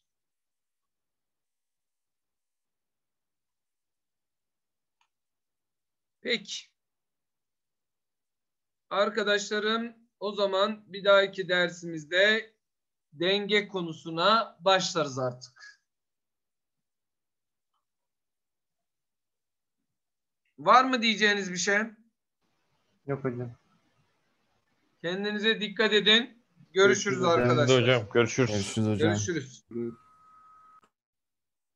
Etmiyor musun? Peki. Ben bir şey daha soracağım ama. Sor bekliyorum. Bu NH'lar birbirini eşit şeyde çekmiyorlar mı? Burada mı? Polar dedik ya molekülüne. He. Şurada eşit çekim olmuyor mu diye düşündü. Aynen. Hadi gel şey yapalım, fizik yapalım, vektörler konusunu işleyelim. Şu, Tamam. azottan çıkan üç tane vektör gibi düşün. Şu birinci vektörüm. Bağları vektör haline getirdim. Şu ikinci vektörüm. Şu da üçüncü vektörüm. Şimdi bunların vektörel toplamını aldığım zaman sence sıfır gelecek midir? Gelmez tabii. Gelmez. Fizik düşün direkt, kimyayı boş ver. Hı hı. Sanırım şununla şunun bileşkesi ortada kalıyor. İkisinin toplamı da sıfırlanamıyor. Vektörel toplam sıfır değil. İşte vektörel Hmm. toplam sıfır değilse eşit çekim yoktur. Dolayısıyla da apo, e, polar molekül olacak. Tamam. Ne zaman ederim. eşit çekim olurdu? Şunu bir sileyim. O azotun boşta noktası kalmayaydı. Üç tane vektör şöyle düzlem üçgenle bağlanmış olurdu. O zaman şununla şunun bileşkesi ortada kalır. Şu ikisi birbirlerine sıfırlardı. O zaman apolar molekül olur. Tamam değil mi? Tamam. Tamam sağ olun. Bir şey değil. O yüzden amonyak molekülümüz arkadaşlar polar molekül olmak zorunda. Evet, NH3, NH3 amonyak molekülümüzde çalıştık. O zaman sırada 6A grubumuz var galiba. 5A'dan sonra 6A grubuna geçebilirim. O zaman hemen yeni bir örnek hazırladım.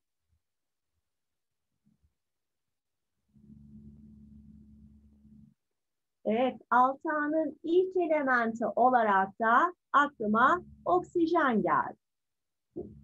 Atom numarası 8 olan sevgili oksijen. Oksijen 6A grubunda bulunan bir ametal.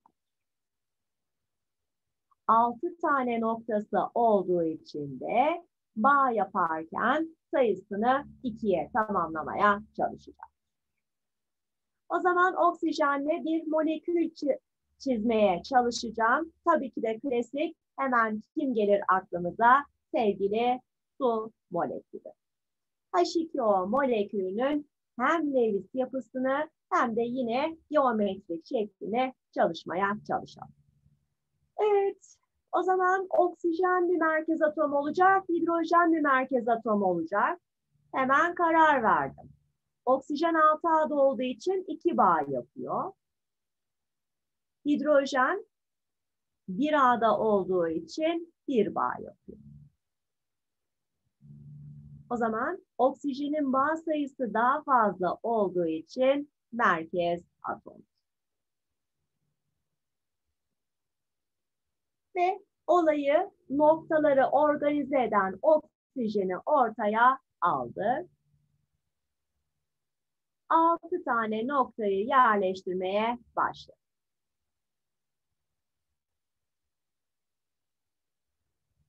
Evet, dedik ki hidrojenlere sizin de birer tane noktanız var. Benim de birer tane noktam tekli kaldı. O zaman gelin bunları beraber kullanalım.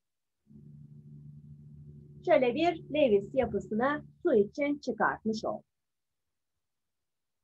Şimdi geometrik şekline karar verelim. Evet, oksijen iki bağ yapıyor. Hatırlıyor musunuz? Biz iki bağ yapanları daha önce geçen dersimizde bir çalışmıştık galiba. Kim vardı iki bağ yapan? Hangi grup vardı? 4 A. İki bağ. İki bağ yapan. İki Ha doğru 2 A pardon. Heh. İki A grubu var mıydı? Berilyum. Heh. vardı. Değil mi? Berilyumu çalışmış olmamız lazım. Berilyum iki tane bağ yapabilen bir atomumuzdu. Geometrik şeklinin doğrusal olduğunu söylemişiz. Çünkü berilyumun boşta noktası yok. Şöyle kalemlerimle göstereyim mesela. Tam ortada berilyum olduğunu hayal edin arkadaşlar. Berilyumun boşta noktası kalmadığı için de doğrusal bir geometriydi. Şimdi oksijen de iki bağ yapacak aynı berilyum gibi. Ama ne farkı var? Oksijenin ortaklanmamış bir dört tane elektronu, iki tane çifti var. İşte onlar nereye oturuyorlar yine? Tamamen oksijenin tepesine, şuraya oturdular ve bu bağları aşağıya doğru ittirdiler. O zaman ben oksijenime iki tane hidrojeni bağlarken doğrusal değil de ne yaparak bağlayacağım? Kırarak bağlayacağım. O yüzden de geometrik şeklimi çıkarttım. Aldım oksijenimi ortaya, bir hidrojenimi kırarak bağladım, diğer hidrojenimi de kırarak bağladım. Çünkü oksijenin ortaklanmamış elektronları. Bunları aşağıya doğru ittirmiş oldum. İşte bu geometrik şeklimizin adı da kırık doğru. MEP kitabında da olduğu için diğer ismini de mutlaka tanıyorsunuz. Kırık doğru yerine açısal da diyebilirler. İkisi de kullanılabilen geometrik şekil. Evet açımız düzgün dört yüzlü 109 buçuk. Üçgen piramit 107. Kırık doğru. Gelir Erdal. İki basamaklı bir şeydi galiba. Yok iki basamaklarımız yok. Hep üç basamaklı. Çıkacak. Fazla büyük bir şeydi sanki. Büyük bir şey. Şimdi çok göreceli bir şey oldu. Kime Neyse göre? hocam bilmiyorum. Şöyle düşünün. Şimdi üçgen piramitte açımız 107 idi ya. Şimdi oksijenden daha çok ortaklanmamış elektron geldi. Ortaklanmamış elektronun artması buradaki ittirmeleri daha çok yapacaktır. O yüzden bir kere buradaki açımız 107'den küçük bir açı olsun. 102 veya 105 mi? 104. 105. 104 derece. Yine 104 buçukta belki o kabulüm. Hocam kızacaksınız ama ben bunu anlamadım. Neyi? Bu karnım aç ya odaklanamadım bir türlü. Şimdi çok güzel. Ee, karnını doyurursun şimdi de. Ee, hangisine odaklanamadın?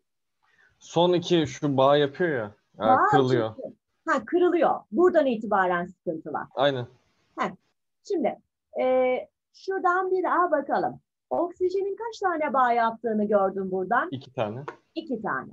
Şimdi iki bağ yapabilen biz daha önce berilyumdan bahsetmiştik. Berilyumun yani merkez atomun ortaklanmamış elektronu kalmadığı için iki tane bağımızı şöyle bağlamıştık. Doğrusal diye. Tam ortada berilyum var diye hayal. Tamam. Bunu hatırladın mı? Evet. Şimdi oksijene geldim. O da iki bağ yapacak. Yalnız oksijenin şuradan gösterdiğim dört tane elektronu kaldı mı? Bağ yapımında Aynen. kullanılmayan. Bağ yapımında kullanılmayan elektronlar her zaman merkez atomun tepesine otururlar. Ve Tamam. bağ yapan elektronları ittirirler. Kendilerinden uzaklaştırırlar. O yüzden oksijene iki tane hidrojenimi bağlarken kırarak, doğruyu kırarak kırık doğru dediğimiz geometriyle bağlamış olduk. Geometrik şeklimi böyle açıkladım. Bağ açısı için ise zaten bağ açısında çok da fazla bir mantığım yok. Bilmek zorundasınız. Kırık doğrudaki bağ açısı 104 derecedir. Ha sadece şöyle bir benzetme yapabildim üçgen piramitle. Orada bir çift elektron vardı aşağıya ittiren, şimdi ise iki çift var. Daha çok ortaklanmamış elektron daha fazla itme uygular diye 107'den küçük olabileceğini söyledim. Bir ipucu. Yoksa çok fazla anlamı olan veya bilmeniz gereken bir şey değil. Oldu mu Mert'cığım? Oldu hocam teşekkür ederim. Bir şey değil efendim. Kırık doğruyla da tanışmış olduk. Yine Molekülün içindeki güçlü etkileşimlerin isimleri polar, kovalent bağ. Merkez atom üzerinde bir tane atom kalma gibi bir şey imkansız değil mi? Sizin için imkansız. Yani çünkü şey o kadar çok farklı moleküllerle karşılaşabiliyoruz ki, taneciklerle karşılaşabiliyoruz ki ama sizin için imkansız diyebiliriz. Size böyle daha masum, daha rahat çizebileceğiniz noktalar veririz arkadaşlar. Neler var neler. Evet, polar kovalent bağ var. Bir, iki tane olduğunu söyledim. Sizce molekül polar molekül mü, apolar molekül mü? Polar. Polar. Ee, hemen şöyle bir hatırlatma yapasım geldi. Hani biz yüz yüze ders yaparken dersimizde bir tek ne serbestti? Nasıl hocam? Ne yapabiliyorduk sadece? Yemek yiyip içebiliyor muyduk? Bir şeyler yiyip içebiliyor muyduk? Nefes alıyorduk. Nefes alıyorduk. O zaten şart da galiba su içebiliyorduk. Aynen. Başka bir şeyler yiyip içebiliyor muyduk? Hayır. Batu laf atıyorum sana hadi. Hala yiyor. Adam hala yiyor. Siz de Evet. ister misiniz hocam? Batu var ya oraya gelirim. Ayıp laflar söyleyemem. Niye hocam siz de isterseniz var vereyim. Hocam Batu, son 5 dakika kalmış bir şey soracağım. Ee, bak yüz yüzeye döneceğiz eninde sonunda. Bunun acısını çıkartırım. Şimdi bir şey diyemiyorum da çocuğum. Ee, Tamam hocam özür dilerim. Evet, dersimizde hala yüz yüze de olduğu gibi sadece su içebiliyoruz. Bir şeyler yiyip içmek yasak. Oldu Tamam. mu? Tamam. Oldu. Hocam Gerisini yüz yüze de konuşuruz. Efendim. Üniversite yıllarınızın fotoğrafını gösterecektiniz ya. Ay taktılar üniversite yıllarıma. He, Lütfen. Evet lütfen. hocam. Valla çok güzel derslerinizi çalışın. Böyle ödevleriniz takır takır gelsin. Her şey süper gitsin. O zaman düşünebilirim. Tamam. Her şeyin bir bedeli var. Siz güzel dersinizi çalışın, ödevlerinizi yapın. Ondan sonra baktım evet bunlar çok iyi gidiyorlar deyince göstereceğim. Tamam mı? Her şey bitti, ona takıldınız. Polar molekül dedi. Doğrultu sayısını söyler misiniz? 2 İki mi? değil mi? Değil. 2 bar Neden? çıkmış. 4 galiba. Şu Dört. elektron Hı, tamam. Ortaklanmamış elektronları da ne yapıyorsunuz arkadaşlar? Doğrultu olarak alıyorsunuz. 1, 2, 3, 4. O yüzden doğrultu sayınız kaç olacaktır? 4. Ortaklanmamış elektronlarda bir doğrultu oluşturur. İsterseniz yine 3 boyutlu çizimini yapayım. Oksijeni aldı.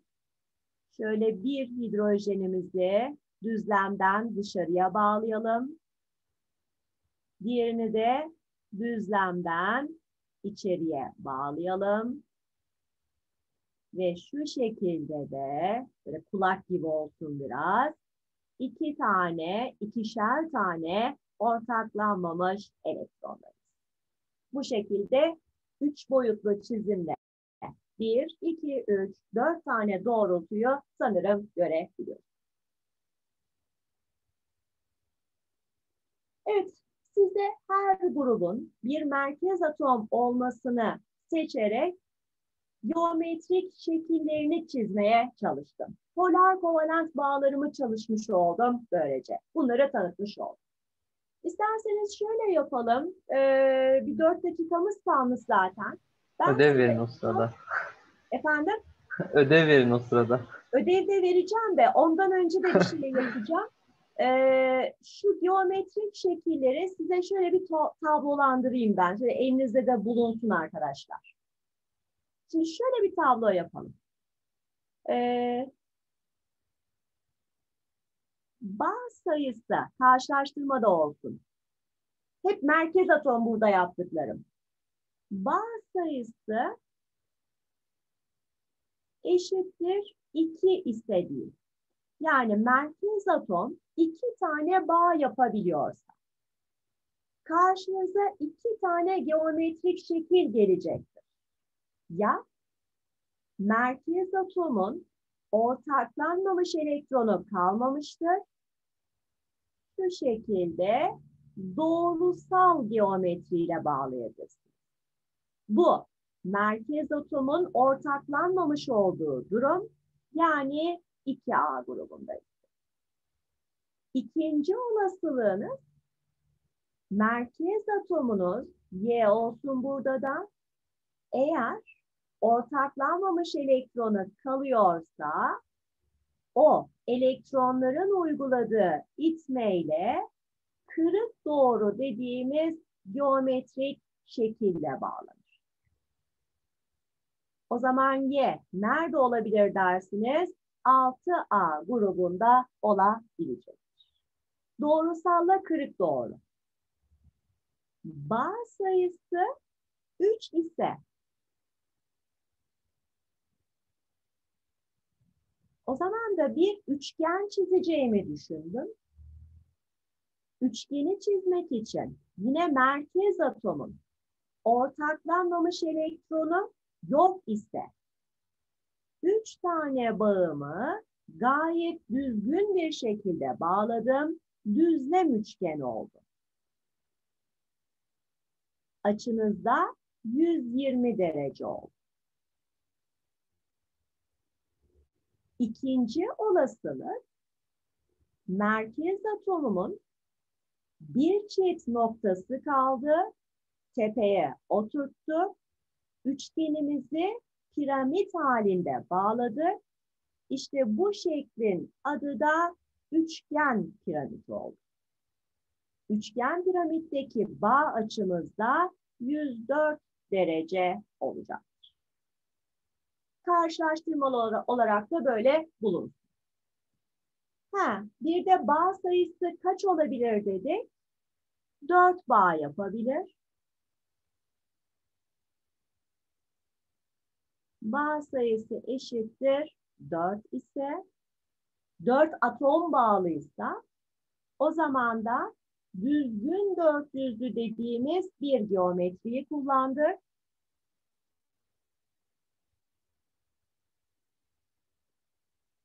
Şöyle çizmiştik. Düzgün dörtlüzlüdeki açımızda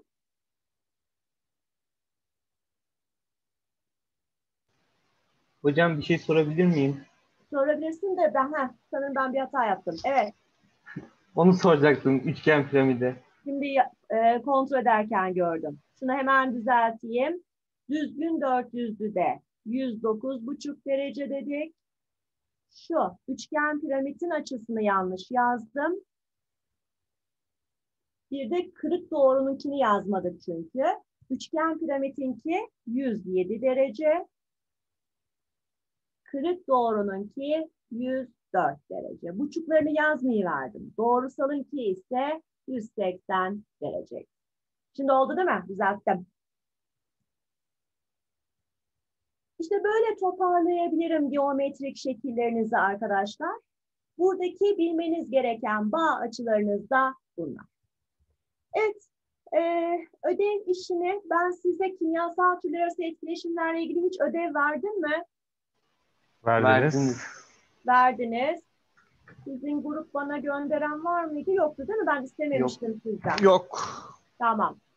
O zaman şöyle olalım. Bu hafta biraz karıştım ben de kime verdim, kime vermedim diye.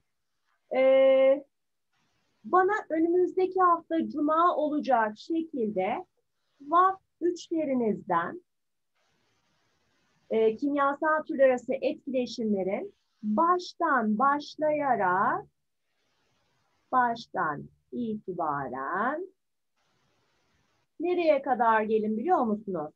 Metalik bağlı, yo yo bileşiklerin adlandırması da var. Kovalent bileşiklerin adlandırılmasına kadar geliyoruz. Kovalent bileşiklerin adlandırılması.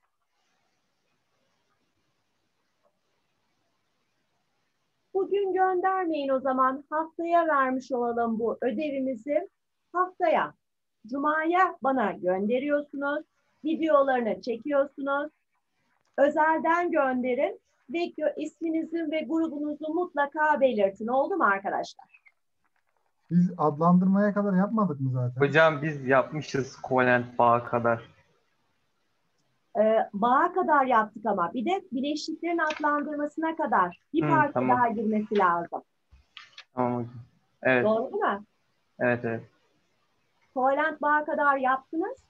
Sonra adlandırmayı da e, adlandırmaya kadar da ekleyin ve hepsini birlikte gönderin. Tamam hocam. Anlaştık mı? Evet. O zaman yo haftaya cumaya demeyelim. Biz iki saat birer birer yapıyoruz değil mi? Diğer Evet hocam. ne gün? Çarşamba. Çarşamba. Sanırım. O zaman değiştirdim gününü. Çarşambaya istiyorum. Tamam, Tamam. hocam. Çarşambadan çarşambaya ödev günümüz olsun. Oldu mu? Tamam hocam. Çarşamba gününe istiyorum. Evet. O zaman bugünlük bu kadar dedim. Görüşmek üzere. İyi çalışmalar. Görüşürüz hocam. Hoşçakalın.